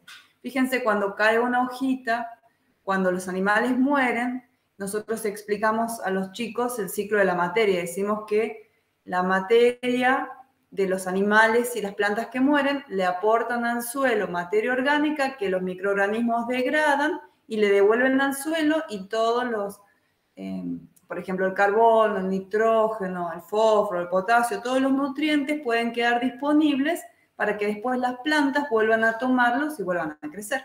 Pero fíjense que todo este ciclo pasa a través de los seres vivos. Y si los seres vivos no quedan presentes en el suelo, si tenemos acá este problema de que cortamos este ciclo, evidentemente no vamos a tener un suelo que pueda eh, sustentar ningún tipo de vida. Entonces, así el suelo queda sin capacidad productiva, no puede sustentar vida animal ni vegetal y decimos que el suelo está degradado o deteriorado. Y eso no es un problema eh, del que el contexto de Catamarca escape, pero tampoco es único de Catamarca, es un problema que estamos viviendo a nivel mundial. Catamarca tiene muchos suelos secos y los suelos secos son mucho más débiles frente a este tipo de problemas. Entonces, este, ¿qué cosas hacemos nosotros que están mal que hace que el suelo quede desprotegido? Bueno, lo primero que hacemos mal es sacar las plantas nativas, porque las plantas nativas llevan mucho tiempo de evolución en este ecosistema. Y entonces hay unas relaciones muy íntimas entre los animales, las plantas y el suelo. Y si nosotros sacamos estas plantas nativas, o, no las sacamos, pero les quitamos muchas ramas, por ejemplo, lo que permitimos es que cuando cae la lluvia pegue directamente sobre el suelo. Y cuando pega directamente sobre el suelo, produce este tipo de erosión, que nosotros, cuando por ejemplo vamos a la montaña, vemos grandes pedazos que van eh, saliendo, encontramos cárcavas, que son zonas donde el suelo ya no está. Otro, otra cosa que hacemos mal tiene que ver con el sobrepastoreo. Fíjense que la palabra sobrepastoreo implica que está por encima del límite, está sobre el límite. ¿Qué significa esto que estamos poniendo en el campo más animales de los que el suelo puede sustentar. La vegetación puede sustentar una determinada cantidad de animales. Si ponemos más, entonces evidentemente el sistema no lo puede eh, sostener. ¿Y qué pasa? El pisoteo de los animales hace de que el suelo se empiece a compactar. Y en un suelo compactado no permite el crecimiento de los vegetales. Entonces otra vez vienen la lluvia y el viento y producen todos estos daños que si ustedes, este, por ejemplo, andan por las juntas, por el rodeo, es muy normal ver este tipo de daños en el suelo, para darles un ejemplo cercano, y eh, van a poder ver cómo realmente vamos perdiendo suelo debido al exceso de carga animal. Otro de los problemas importantes que tenemos es el riego inapropiado. El riego inapropiado no solamente tiene que ver con em, regar con aguas que tengan, por ejemplo, muchos carbonatos o muchas sales, ¿sí? Eso sería un problema porque estamos agregando más sales al suelo, entonces es importante que veamos qué tipo de agua estamos usando para el riego. Pero también depende qué tipo de riego estamos haciendo. Es muy común que eh, uno quiera tender a tener riegos por inundación para garantizar que todas las plantas reciban suficiente cantidad de agua más en un lugar seco. Pero los riegos por inundación son un problema porque nuestros suelos son muy finitos. Y al ser muy finitos, no tenemos espacio suficiente para que el agua pueda infiltrar con tanta facilidad. Entonces, esto va a hacer de que haya anegamiento y también esto genera otro tipo de problemas al suelo. Entonces, tenemos que tener cuidado con el tipo de agua y con el consumo del agua. Como decía Mario, por ejemplo, en el Valle, en el Valle de Picbánaco, donde ahora ya no podemos tener lo que, lo que había de bosques nativos porque estamos sacando mucha agua para consumo humano y para riego. Entonces también generamos todo un desbalance en los ecosistemas. Esto no significa que no podamos regar, sino que tenemos que buscar sistemas apropiados de riego. Uno de los mejores sistemas es, por ejemplo, el riego por goteo. ¿Qué pasa con nuestro suelo? Porque decimos, los suelos en tierras secas son este, más frágiles. ¿Por qué son más frágiles? Bueno, primero hablemos un poco de la estructura del suelo. No es lo mismo tener rocas que tener arena. Miren que la roca y la arena, la diferencia está en el tamaño. ¿sí? Si usamos un sedazo o un colador y vamos colando, va a salir primero lo más finito y vamos reteniendo lo más grueso. Entonces, según el tamaño que tengan eh, estos, estas partículas del suelo, podemos pensar en suelos que son más pedregosos, más arenosos, pueden ser limosos, pueden ser arcillosos, ¿sí? Y nuestro tipo de suelo, por lo general, es un suelo que tiene más arcilla, arena y algo de limo. Entonces, es un suelo bastante fino. Al ser muy fino, fíjense que si estos son granitos de suelo y si el suelo, todos los granitos son muy finos, es difícil que aparezcan poros en medio. Y son por esos poros por donde se filtra el agua y por donde pasa el aire. Y tanto el agua como el aire son necesarios para la vida. Entonces, tanto los animales como las plantas del suelo necesitan que el suelo tenga esta estructura. Nuestros suelos suelen ser sueltos, ¿no? no si nosotros agarramos un, un, poquito de suelo, agarramos la pala y sacamos un poquito de suelo, vamos a ver que ese suelo fácilmente se desgrana, se desarma. No es un suelo que tenga una estructura, es un suelo más bien suelto. Entonces, ese suelo también tiene poca cantidad de materia orgánica, o sea, tiene poco aporte de plantas o animales que se fueran degradando. Si nosotros le quitamos la vegetación, le quitamos el aporte de materia orgánica. Entonces, el suelo no tiene con qué estructurar toda esta arcilla o, este limo o este material sueldo que tenemos o la arena se estructura a través del aporte de materia orgánica. Si nosotros le quitamos los estructurantes, es difícil de que podamos tener un suelo por donde pueda fácilmente pasar el agua y el aire. Entonces, nuestros suelos, como pudimos ver recién, son finos, no tienen una estructura eh, buena. En consecuencia, si nosotros removemos mucho, como por ejemplo con un arado o con una pala o con un tractor, vamos y removemos, inmediatamente el suelo queda suelto. Tal y como ustedes pudieron ver mientras que se estaba construyendo, por ejemplo, el predio ferial, Catamarca vivía en una nube de polvo. ¿Por qué? Porque el suelo queda suelto con mucha facilidad. Entonces, otra mala práctica nuestra es permitir que el suelo quede suelto. Bueno, como les decía, es muy importante el aporte de materia orgánica al suelo. Entonces, fíjense, si nosotros pensamos en un ciclo natural, por ejemplo, en este arbolito, el arbolito este tomó materia orgánica y nutrientes del suelo y poco a poco fue construyendo su biomasa, fue creciendo, da hojas, da frutos, después pierde las hojas, las hojas caen de nuevo al suelo y en el suelo los microorganismos degradan y vuelven a darle todos los nutrientes que estaban en esas hojas al suelo para que las raíces del árbol la vuelvan a tomar y nuevamente cerremos el ciclo. Por eso hablamos del ciclo de la materia. Ahora, si nosotros nos dedicamos a tener siembras que sean intensivas, como por ejemplo monocultivos, donde cosechamos prácticamente todo y no le dejamos nada, ¿cómo hace el suelo para volver a tomar, eh, para volver a tener materia orgánica? Entonces, este tipo de manejos donde le dejamos muy poco o nada de material para descomponer es un mal manejo de suelos. Y si a su vez usamos maquinaria pesada que remueve el suelo y lo dejamos a expensas del viento y del agua y sin materia orgánica, en poco tiempo nos vamos a quedar sin suelo. Vamos a terminar desertificando. Otro problema que tenemos y que es muy común en Catamarca son los incendios repetitivos. Eh, muchas veces habremos escuchado de que quemar está bien porque vuelve a salir rápido el pasto. Bueno, puede ser necesario en algunos ecosistemas que cada tanto haya algún incendio porque puede haber semillas que requieran del fuego para volver a brotar. Pero si nosotros incendiamos constantemente, terminamos perjudicando a la microbiota del suelo, a las plantas y a los animales, o sea, a todo el sistema. Entonces, Fíjense en estas condiciones, si ahora, después de esta tremenda una lluvia, el agua y el, y el viento se van a llevar todo lo que puedan arrastrar acá. Entonces, otra vez estamos perdiendo suelo.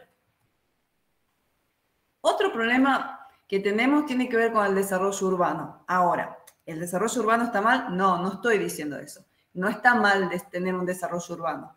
El asunto es que cuando nosotros vamos creciendo como, ciudad, eh, necesariamente tenemos que remover suelo.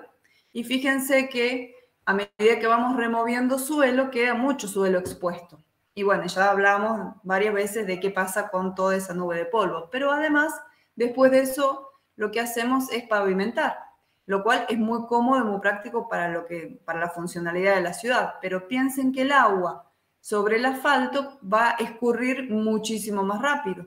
Y nosotros podemos notar que cuanto más vamos asfaltando, más superficie cubierta e impermeable tenemos y el agua esa, en vez de ser absorbida por la vegetación como cuando había monte, en vez de que el agua caiga y haya una cobertura vegetal que permita que el agua vaya infiltrando hasta el suelo con lentitud y que el suelo haga como una esponja y absorba el agua, un suelo desnudo se va con el agua y un suelo pavimentado, bueno, directamente el agua corre por arriba del pavimento y se generan grandes inundaciones si tenemos un gran desnivel, por ejemplo, en la ciudad, que haya una zona que sea más baja, bueno, toda el agua escurrirá a esa zona más baja con mucha más facilidad debido a la impermeabilización por asfalto.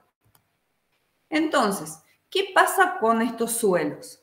Evidentemente, si estamos desmontando, incendiando, sacando la flora nativa, descuidando la biodiversidad, tendremos menos alimentos, hará más calor y tendremos menos animales y plantas, menos biodiversidad.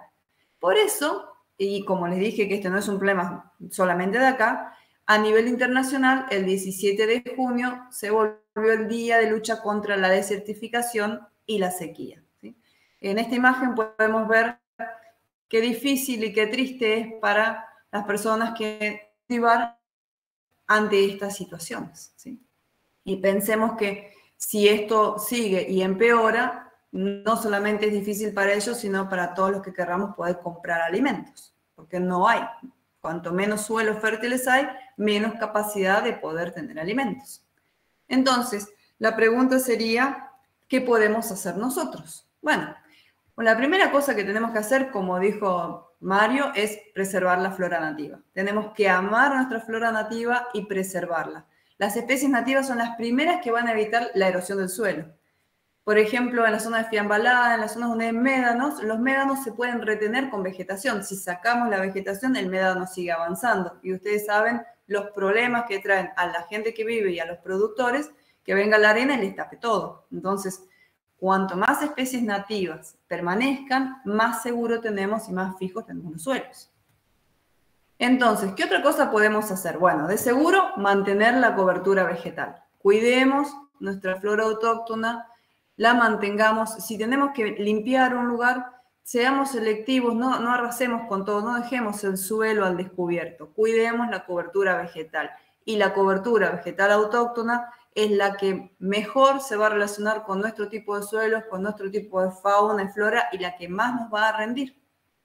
Otra cosa que podemos hacer es rotar cultivos y no solamente rotarlos, sino además tener cultivos diversos. Un cultivo diverso garantiza una mejor diversidad en, por ejemplo, como nos había mostrado el profe Mario hace un rato, en cuanto a los insectos. Y cuanto más biodiversidad tenemos, menos posibilidad de plagas tenemos. Y cuanto menos posibilidad de plagas tenemos, menos uso de químicos necesitamos. Y eso también ayuda a que el suelo pueda estar más sano. Otra cosa que necesitamos hacer es el control de la carga animal. No podemos poner en el terreno más animales de lo que el terreno sustenta. Eh, ante esta alternativa sería mejor tener algún tipo de sembrados para darle de comer a los animales antes que soltarlos y dejarlos que pisoteen y que vayan percudiendo cada vez más eh, el suelo nativo.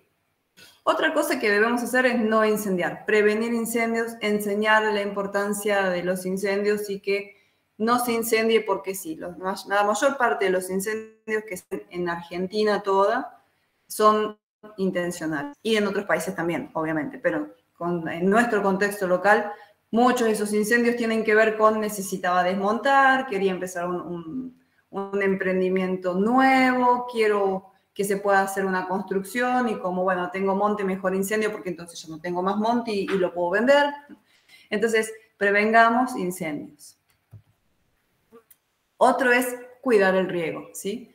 Eh, una gotita constantemente mantiene la tierra húmeda, no gastamos tanta agua en un lugar en donde el agua es fundamental, no nos excedemos con la cantidad de sales que podamos empezar a agregar al suelo y eso nos va a garantizar a su vez que la humedad sea suficiente para que los microorganismos hagan su parte y podamos tener el ciclado de la materia orgánica. Bueno, reciclemos materia orgánica. Es muy común acá que si cae las hojas del árbol, las barramos y las tiremos a la basura y las quememos. No hagamos eso. Las, reciclemos como materia orgánica, las pongamos de nuevo en el suelo, las cubramos con un poquito de tierra, las reguemos y permitamos que la fauna propia del suelo, la fauna edáfica, haga su trabajo y nos genere una tierra con más materia orgánica porque cuanto más materia orgánica, mejor estructura y más sostén de la vida. Y mejores alimentos y mejores plantas y no hace tanto calor. Entonces tenemos toda una serie de beneficios y hoy en día es muy importante hablar de la cantidad de carbono que se está librando al ambiente. Piensen que cuanto más materia orgánica tiene el suelo, más carbono estoy reteniendo en suelos. Y cuanto más carbono retenga en suelos, más favorezco a mitigar el cambio climático. Bueno, otra cosa que podemos hacer es evitar remover las capas del suelo. No removamos la capa del suelo. Si quiero limpiar, si quiero buscar, no removamos el suelo. Si removamos el suelo, lo perdemos. Tenemos que cuidarlo. Si mantenemos la cobertura vegetal, vamos a andar bárbaro. Bueno, si hacemos todo esto, evidentemente el suelo nos dirá a nosotros muchas gracias y nosotros tendremos que decirle muchas gracias a él que nos da el sostén de vida. Y en este punto, yo tengo que agradecerles a ustedes por haberme escuchado. Muchas gracias, profe Ariana. Impecable su exposición, súper clara y didáctica. Así que gracias. Aquí tenemos algunas preguntas que nos están haciendo llegar, ¿sí? Eh, una de ellas es, ¿tiene incidencia el desmonte con los fuertes vientos, vientos que tenemos ahora? En realidad hay una relación, nosotros siempre tuvimos vientos, ¿sí? Entonces, el desmonte hace de que los vientos vengan con mucha más tierra. Pero evidentemente, cuanto más desmontes tenemos, más desbalance en el ciclo del agua. Y cuanto más desbalance en el ciclo del agua, tendremos zonas más secas. Y cuanto más sequía, tendremos todo este tipo de cambios climáticos más fuertes. Bien, muchas gracias, profe. Em, aquí otra pregunta. Dice, ¿es preciso tener gente idónea en ese tema en áreas como planificación urbana para evitar deforestaciones innecesarias? Es importante, como decía León, que todos sepamos sobre el ambiente, ¿sí? Todos. También Mario dijo que desde que planifica en adelante, cuanto más sepamos del ambiente, mejor. Entonces, obviamente que si todo funcionario y supiera del ambiente es una maravilla, pero también si el ama de casa que recibe esa casa sabe de ambiente, inmediatamente se va a preocupar de poner una plantita autóctona, pondrá un arbolito autóctono en la vereda y mejoraremos entre todos. Entonces, no solamente los funcionarios, sino yo creo que es una responsabilidad de cada uno. Si la sociedad toda sabe, la presión sobre las autoridades es mucho mayor que si nadie sabe o nadie se preocupa. Tal cual, profe. Muchas gracias. Hay otra pregunta. ¿Hay alguna diferencia entre hiperfrecuentación y sobrepastoreo de suelos.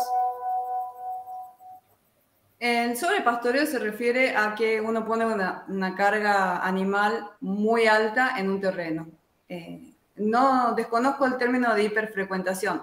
Por el nombre se me ocurre que puede ser que uno suelte frecuentemente los animales al mismo potrero. No sé si Mario conoce el término, me puede ayudar pero básicamente la importancia del sobrepastoreo tiene que ver con que nuestros suelos son muy frágiles y fíjense que una, a, medida que el pisoteo va removiendo suelo, lo vamos perdiendo. ¿sí? Y no es lo mismo un suelo que tuviese más materia orgánica. Entonces, muchas veces el problema no tiene que ver con, con, con el pastoreo per se, sino con esto de decir, si en la pampa húmeda pongo, no sé, 10 vacas por hectárea, acá pongo 10 vacas por hectárea. Y no podemos traslocar sistemas de pampa húmeda a tierras secas. Bien, muchas gracias, profe. Bueno, aquí le hacemos llegar algunos saludos que están poniendo en el chat, que son muchísimos. Bueno, excelente temática. Dice, gracias, profe, muy interesante y, más que clara su información. Eh, excelente exposición, muy buena la charla. Eh, y bueno, todo muy bien, excelente. Felicitaciones. Entre tantos saludos que están llegando. Muchas gracias, Fabi, muchas gracias a todos. Y bueno, les quiero decir que es un programa nacional para certificación, que pueden entrar en la página de Nación y lo pueden ubicar sin mayores inconvenientes. Hay mucho material que produjo Nación en relación a esta temática también, flyers y todo, como para que podamos seguir trabajando. Bueno, muchas gracias a todos. Muchísimas gracias, profe. Bueno, continuamos con la siguiente charla que está a cargo, de la doctora Gloria Quevedo. La charla se titula Integrar el ambiente áulico con el ambiente natural para aprender y hacer ciencia. La doctora Gloria Quevedo es profesora para la enseñanza primaria, profesora para la enseñanza primaria de adultos, profesora en ciencias biológicas, licenciada en ciencias biológicas, eh, maestría en epistemología e investigación científica, especialista en metodología e investigación científica, doctora en neurociencia y biología del comportamiento por la Universidad eh, de Sevilla, España, directora del Centro de Investigación en Neurociencia y Educación, directora de la carrera de profesorado de Biología de la Facultad de Ciencias Exactas y Naturales, fue secretaria académica, coordinadora de carrera, miembro de, diversas comisiones asesoras, fue referente provincial de Ciencias Naturales, fue docente en carreras de posgrado, también es profesora titular en las cátedras Biología del Comportamiento fisiología animal, anatomía y fisiología humana, neurociencia, didáctica especial de la biología y enseñanza de las ciencias experimentales en la Facultad de Ciencias Exactas y Naturales de la UNCA, categoría 2 en el programa de incentivos a los docentes e investigadores, directora de proyectos de la Secretaría de Ciencia y Tecnología, directora de diversos proyectos de innovación pedagógica, de proyectos de voluntariado universitario, autora de diversas publicaciones y presentaciones científicas eh, y también presentaciones en reuniones científicas de nivel internacional, directora de diversas tesis de grado y posgrado. Le damos la bienvenida, doctora Gloria Quevedo.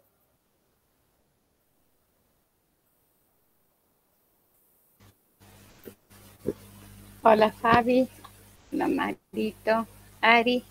León, un gusto, muchísimas gracias por habernos dado hablar de estas cosas que los docentes las estamos en el aula. Eh, si yo este, eh, quiero siempre escuchar lo que mis compañeros dicen, porque en realidad lo que uno hace tiene que ver cómo llevamos estos, estas cosas que ellos también saben, porque son sus, ellos son sus líneas de formación, tanto en investigación y em, académicas, ¿no? Entonces uno tiene que ir sabiendo estas cosas para poder compartirlas y ver qué hacemos los docentes en cada una de las aulas. Gracias por eh, hacer estas jornadas del Bicentenario en honor a los 200 años de nuestra provincia.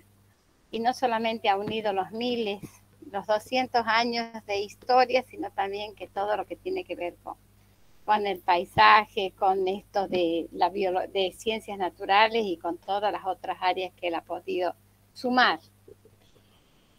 Cuando uno habla del ambiente, cuando uno va, yo lo hablo, eh, creo que uno tiene la impronta de las ferias de ciencia en estas cosas, ¿no? Uno dice, desde qué trabajamos el ambiente, cómo lo hablamos al ambiente.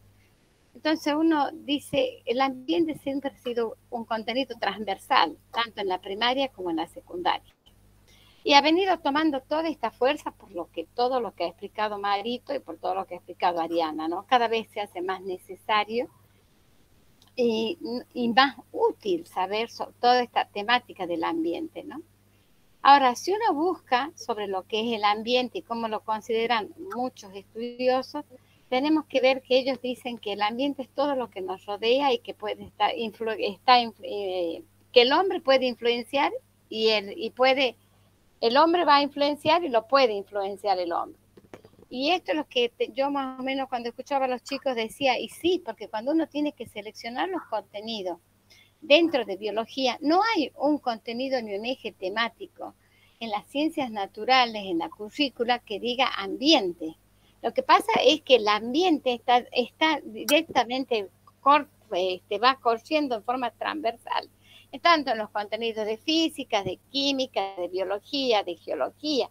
Entonces es ahí donde uno se da cuenta que uno hace, influye sobre el ambiente y el ambiente lo influye a uno. Pero ¿por qué se debe enseñar desde esta mirada ambiental? Porque hay otros autores que dicen que el ambiente es todo, que está compuesto por cuestiones físicas, sociales, culturales, psicológicas, pedagógicas, y que están interrelacionados y que unos con otros van creando como esto de una conciencia y una conducta ambiental, que es lo que dice la profe Ari, ¿no?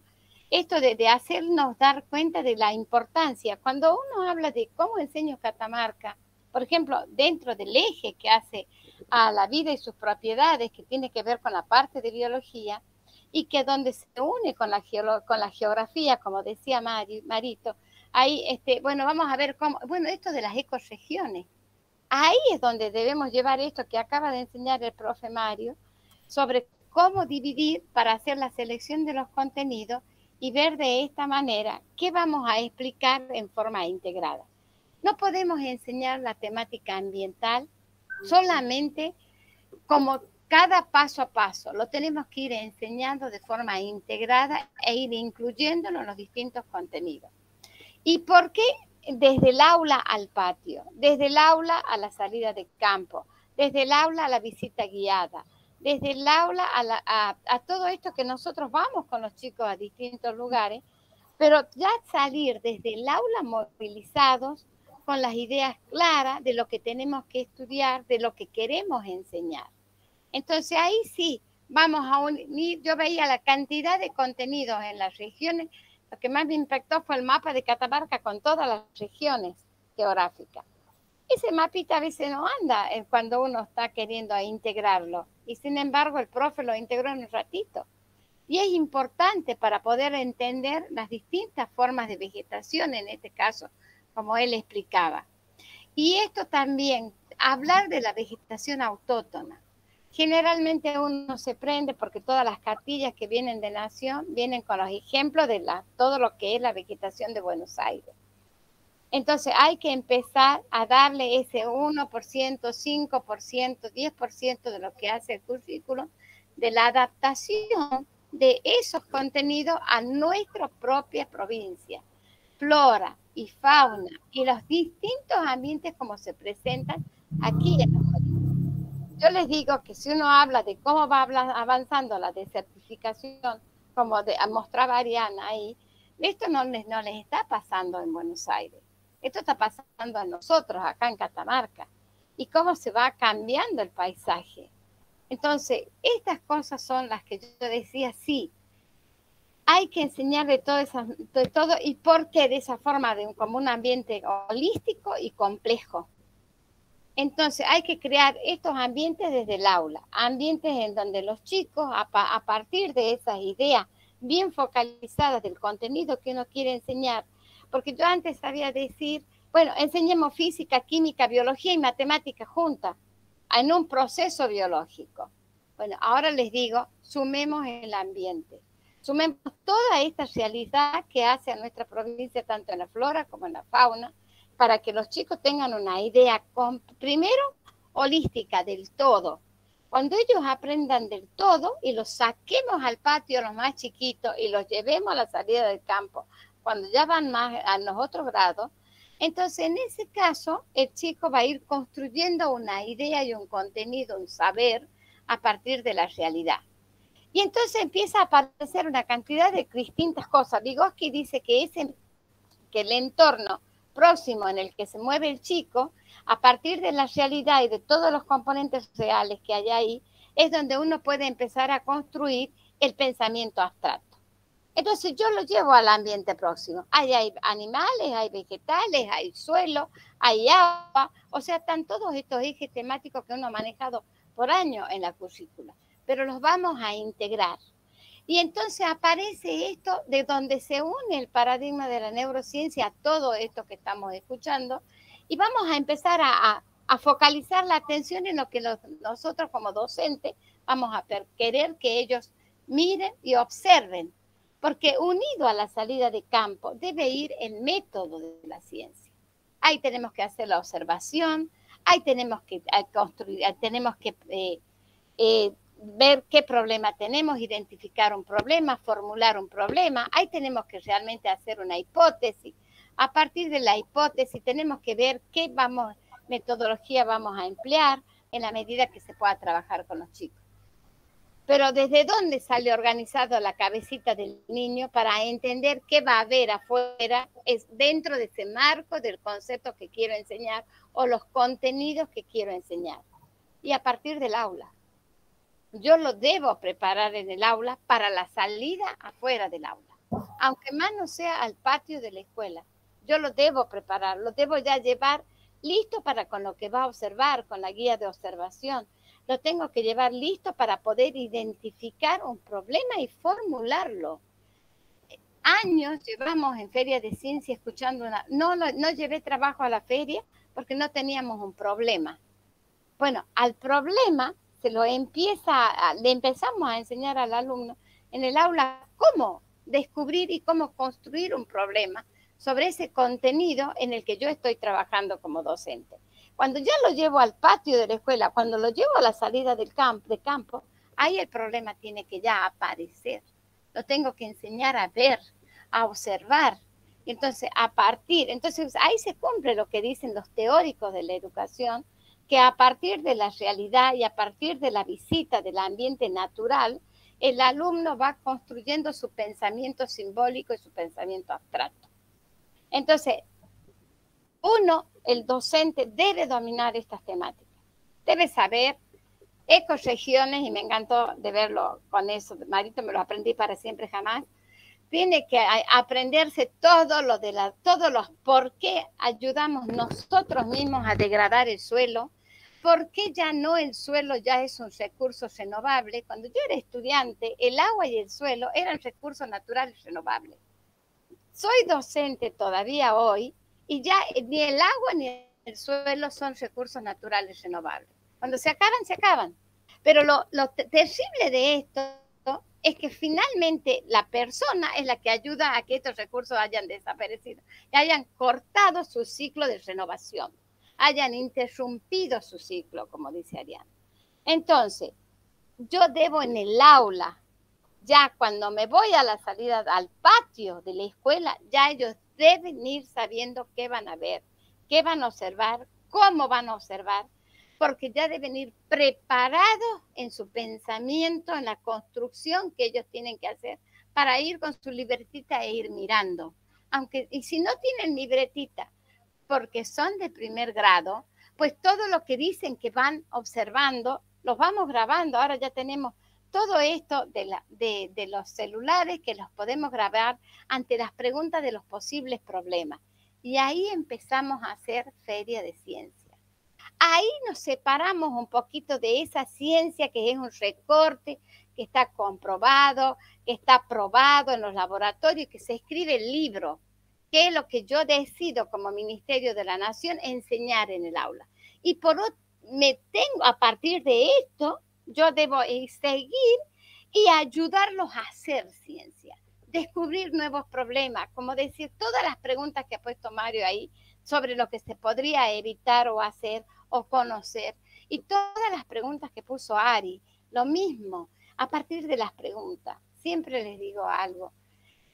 El cerebro está, dentro de una caja craneal envuelto por tres meninges en el medio líquido cefalo-raquídeo y tiene un solo propósito, pensar.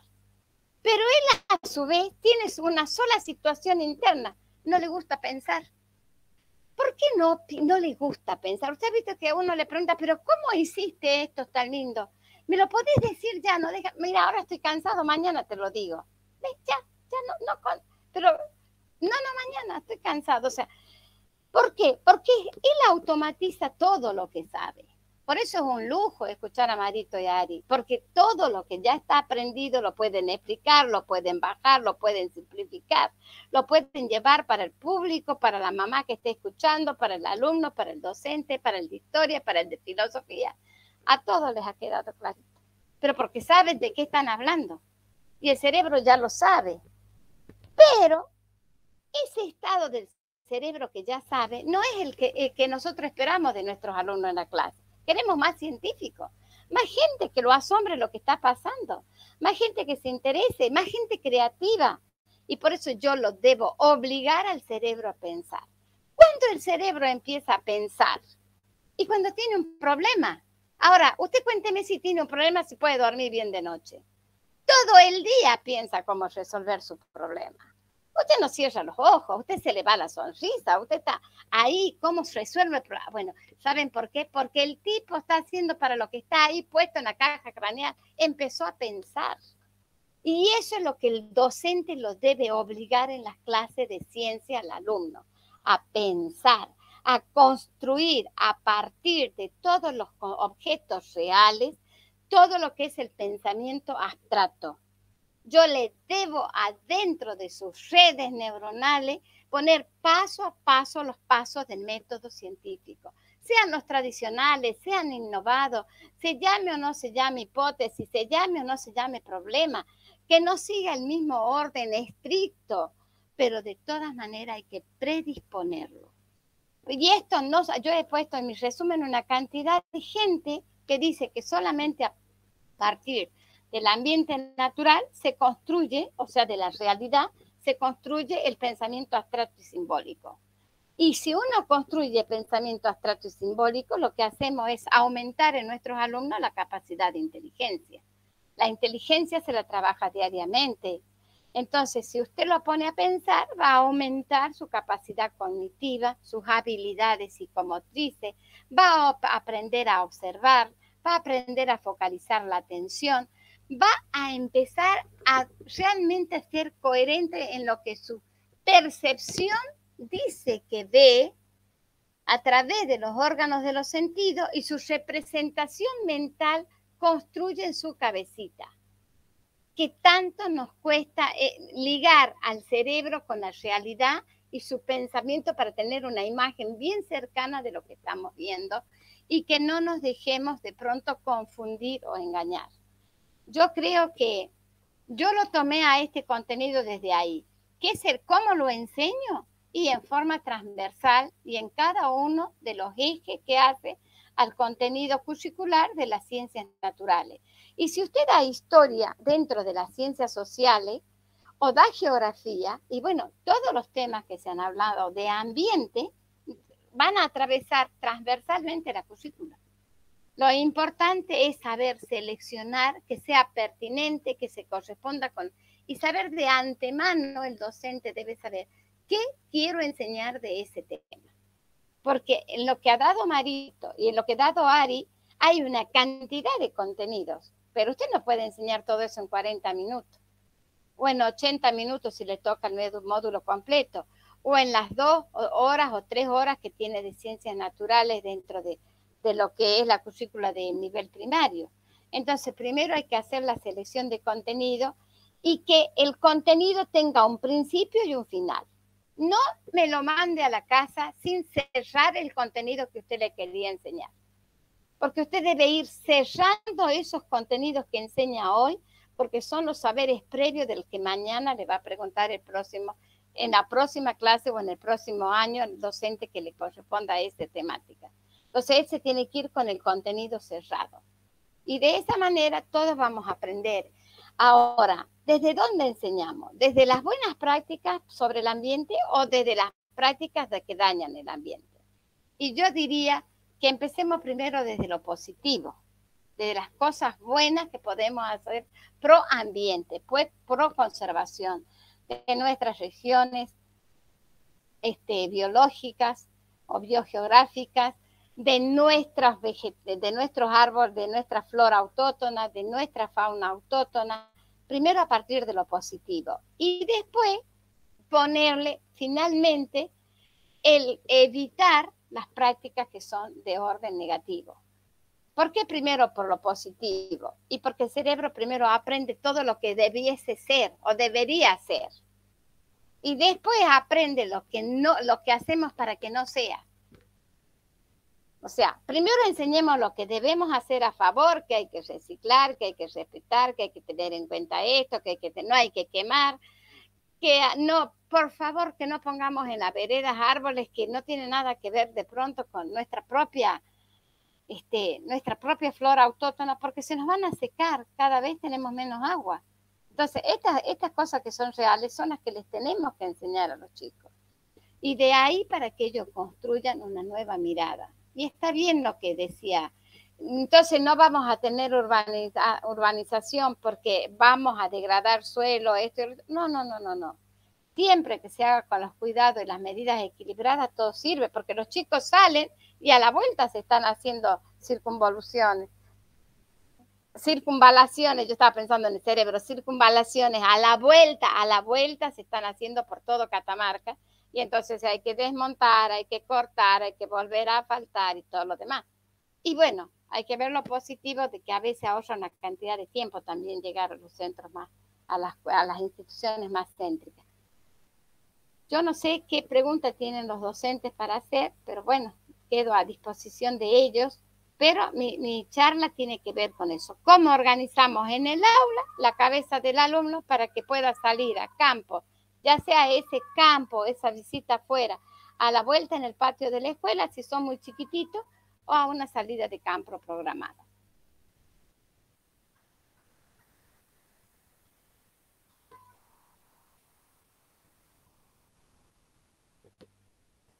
Bien, muchísimas gracias, profe Gloria.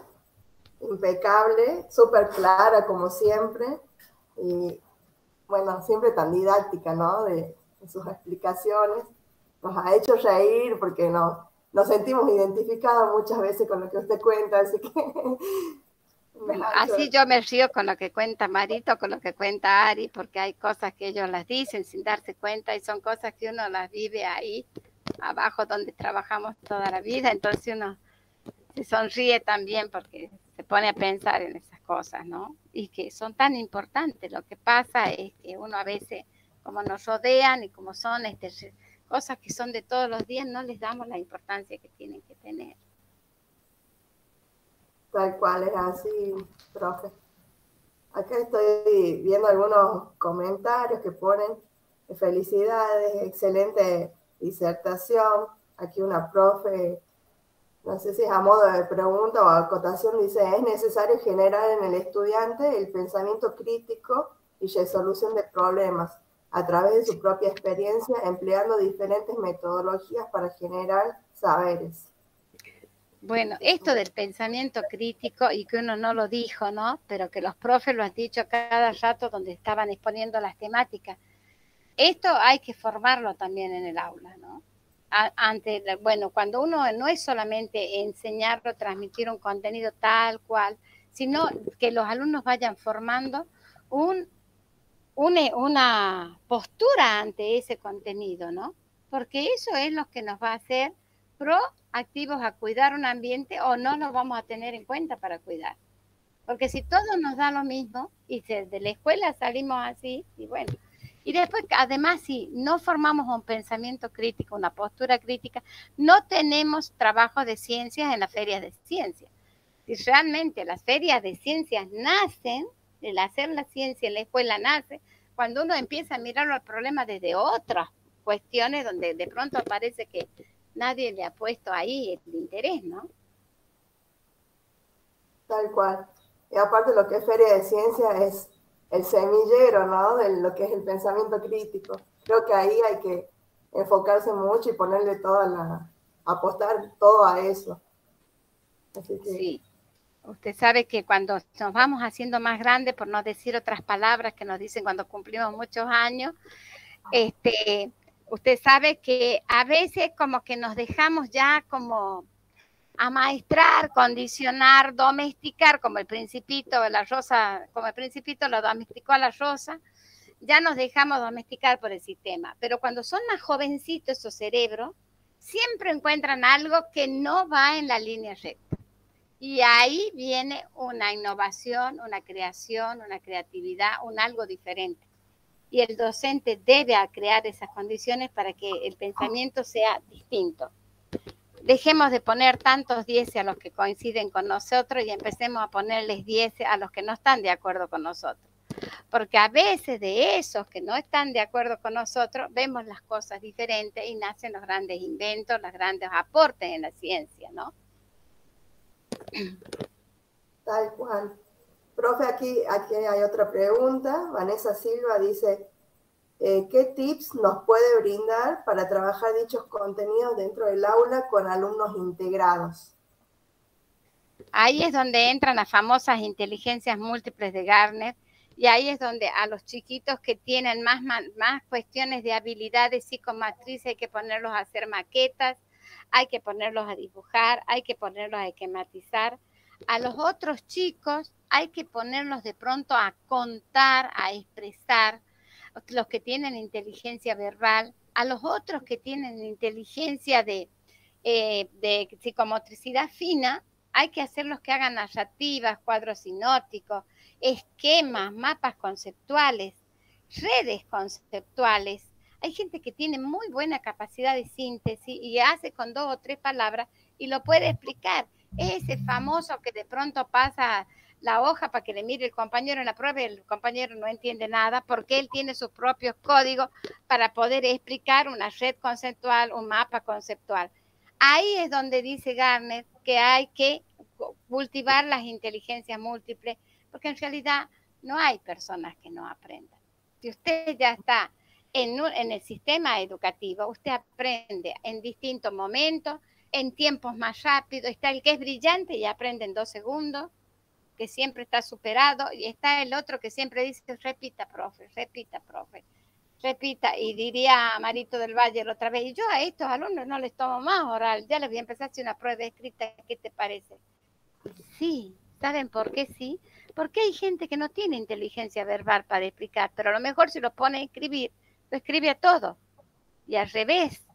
Entonces hay que ir variando, hay que no hay gente lenta, hay gente que aprende en más tiempo o en menos tiempo según la cantidad de neurotransmisores que libera el cerebro en las terminaciones posinápticas. Es una cuestión de neurotransmisores. Antes los, los eh, rápidos iban al A. Yo siempre fui al B para tranquilidad o para no sé de todo el mundo. Yo era al B. Jamás llegó al A. O sea, si sería jugador del fútbol, nunca hubiese jugado en las grandes ligas, dirían. Siempre hubiese estado en esas otras. Pero ¿saben qué? Lo que me enseñaban, por más que siempre decía que no sabía, me lo aprendí. Y esa es la postura que hay que tener con los chicos. Hay que darles el tiempo y que cada uno aprende y se exprese como él lo sabe. Hay alumnas que yo veo en la foto o me cuentan, antes veía más en las fotos de, las redes, pero cuentan que van a los laboratorios este, de, cactus. Y nosotros acá en Catamarca tenemos a Marito que es especialista en cactácea. Por más que él no diga nada, porque bueno, él es así. Pero nadie le puede el mérito de lo que lleva una vida estudiando, enseñando y siempre mirando de nuevo. Yo estoy segura que esos chicos que van ahí aprenden mucho más rápido de muchos otros temas que los que están todos los días sentados quietos. Porque hacen, miran, hacen, hacen cuestiones con variables, hacen distintas cosas. Y entonces eso es realmente ir creando y aprendiendo. Yo entiendo que así tiene que ser. Siempre voy a decir que el hacer, que el alumno haga, lo lleva mejor a aprender. Me parece a mí, por lo menos de los años de docencia que uno tiene. Tal cual, profe.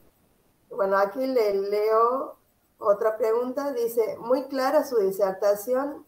Muchas gracias. Si tiene algún consejo de cómo trabajar en el nivel inicial, le agradecería que lo comparta. Muchas gracias.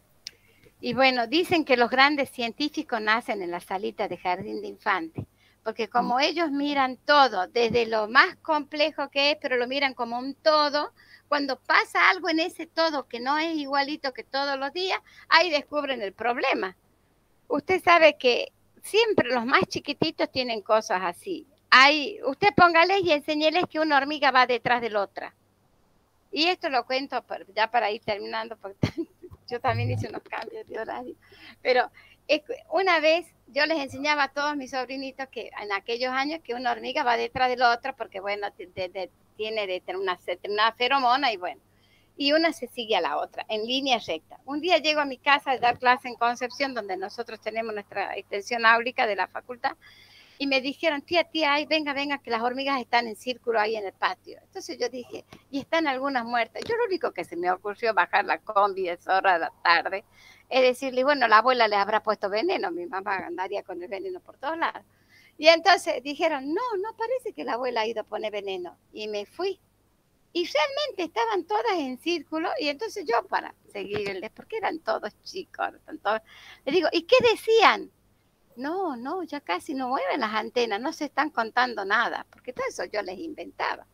Bueno, tía, tía dice, nos va a contar después por qué están en círculo y no iban una detrás del otro el hormiguero. Y usted dice que a las muertas las llevan al hormiguero y ahí han dejado muchas muertas en el círculo. Miren, y eran chiquititos, jardín de infante. Y me puse a leer, eso que me fui a la facultad, me había puesto a leer porque era bueno, al tiempo aparece el paper de un biólogo en Brasil donde había descubierto que por los distintos movimientos este, sísmicos del suelo y que les van cambiando el pH, el pH de los distintos gases que se liberan, hacen que las hormigas salgan de sus hormigueros, vayan hacia arriba y como que están medio con ese gas que ya habían inhalado, se mueren. ¿Quiénes vieron el problema? ¿Lo vi yo? No, lo vieron ellos. O sea, en el jardín de infante hay que ponerlos a observar. Ellos pueden desarrollar la observación. Y son re meticulosos para observar. Cualquier cosita que no es como nos le contamos, ahí nomás ya están contando ellos. Es, en el nivel académico, en el nivel escolar que mejor se puede enseñar ciencia. Muy buen aporte, profe. Acá le leo algunos saludos que están llegando, son muchísimos. Estamos teniendo más o menos eh, más de 140 personas en el chat. Eh, dicen, excelente exposición, muy clara y precisa. Otros dicen, excelentes aportes, muy buenas las tres exposiciones de hoy, excelentes disertaciones. Bueno, entre otros saludos. ¿sí? Así que bueno, eh, aquí finalizamos con las tres disertaciones del día de hoy. Súper agradecida a los profes por los aportes que hicieron. Fueron muy productivos y muy claros los tres, ¿sí? Muchas eh, gracias por la invitación, León. Muchísimas gracias por... Permíteme decir algo antes. a los de la facultad para este lado de la ciencia. Y bueno, usted sabe que a veces somos así lentos gracias por la paciencia. A veces tardamos en mandar, pero mandamos. Pero realmente la mejor disposición tenemos para colaborar. Seguro. Y, mire, yo, yo sí es que tengo que tomar una, frase donde podría reducir la, la, charla de hoy, yo creo que sería conciencia, ¿no? Porque las primeras dos exposiciones prácticamente nos han transmitido un mensaje de conciencia, sobre todo las digo, y, tendría que haber estado ciencias naturales en las jornadas y yo creo que la respuesta es evidente. Eh, creo que ha sido realmente maravilloso. Mucha gente está, está comentando que les ha encantado las tres exposiciones por la forma, independientemente de, la, de cómo lo han explicado, que eso ni siquiera se juzga, pero sino como con la, con la pasión, creo que con lo han hecho, cómo se nota que sienten lo que hacen, y eso es, es lo lindo, eso es lo contagioso, esa, ese, y eso es lo que nos provoca esa, siempre esa empatía con el otro, ¿no? Así que yo eh, con el equipo creo que estamos más que, conformes, no conformes, perdón, totalmente convencidos de que fue un gran, un inmenso acierto de que Ciencias Naturales esté dentro de estas jornadas que siempre se lo vincula más a lo histórico, pero era justamente nuestro criterio sacarlo de lo histórico sin dejar obviamente el histórico, pero sacarlo de que no sea una temática solo de ahí, sino que sea una temática de todos, para todos y por todos. Así que en nombre del Ministerio, muchas gracias. En nombre del Ministerio de Educación, de la Coordinación de Actividades Científicas y Tecnológicas Juveniles, de la Secretaría de Gestión Educativa, muchísimas gracias por su aporte. La verdad que ha sido maravilloso y creo que todos los docentes están encantados por esto. Muchas gracias, muchas gracias, León, en nombre de nosotros. Marito está con el, con el micrófono apagado, pero de todas maneras creo que ya, ya, ahora sí.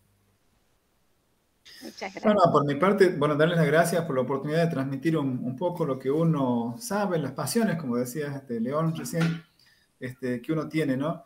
Y también un poquito fue la idea mostrarles que la biología o las ciencias naturales no es una cosa cerrada, sino que tiene que ver con la historia. Cuando les hablé de la Fone Quevedo, que tiene que ver con los desmontes que se hicieron años atrás, que tiene que ver con la, con, con la geología, con las decisiones políticas, este, con la literatura, cuántas referencias hay en la literatura a cuestiones biológicas, si no, cuéntenme de la leyenda del Crespín, cuéntenme del Cacuy y, este, y tantas otras cosas de las ñañarcas y cuántas cosas que podríamos este, hablar de vincular con la literatura. O sea, la, biología se vincula, es toda una, una, sola, una unidad integrada, digamos, de, de historia, de literatura, de geología, de geomorfología, de matemáticas.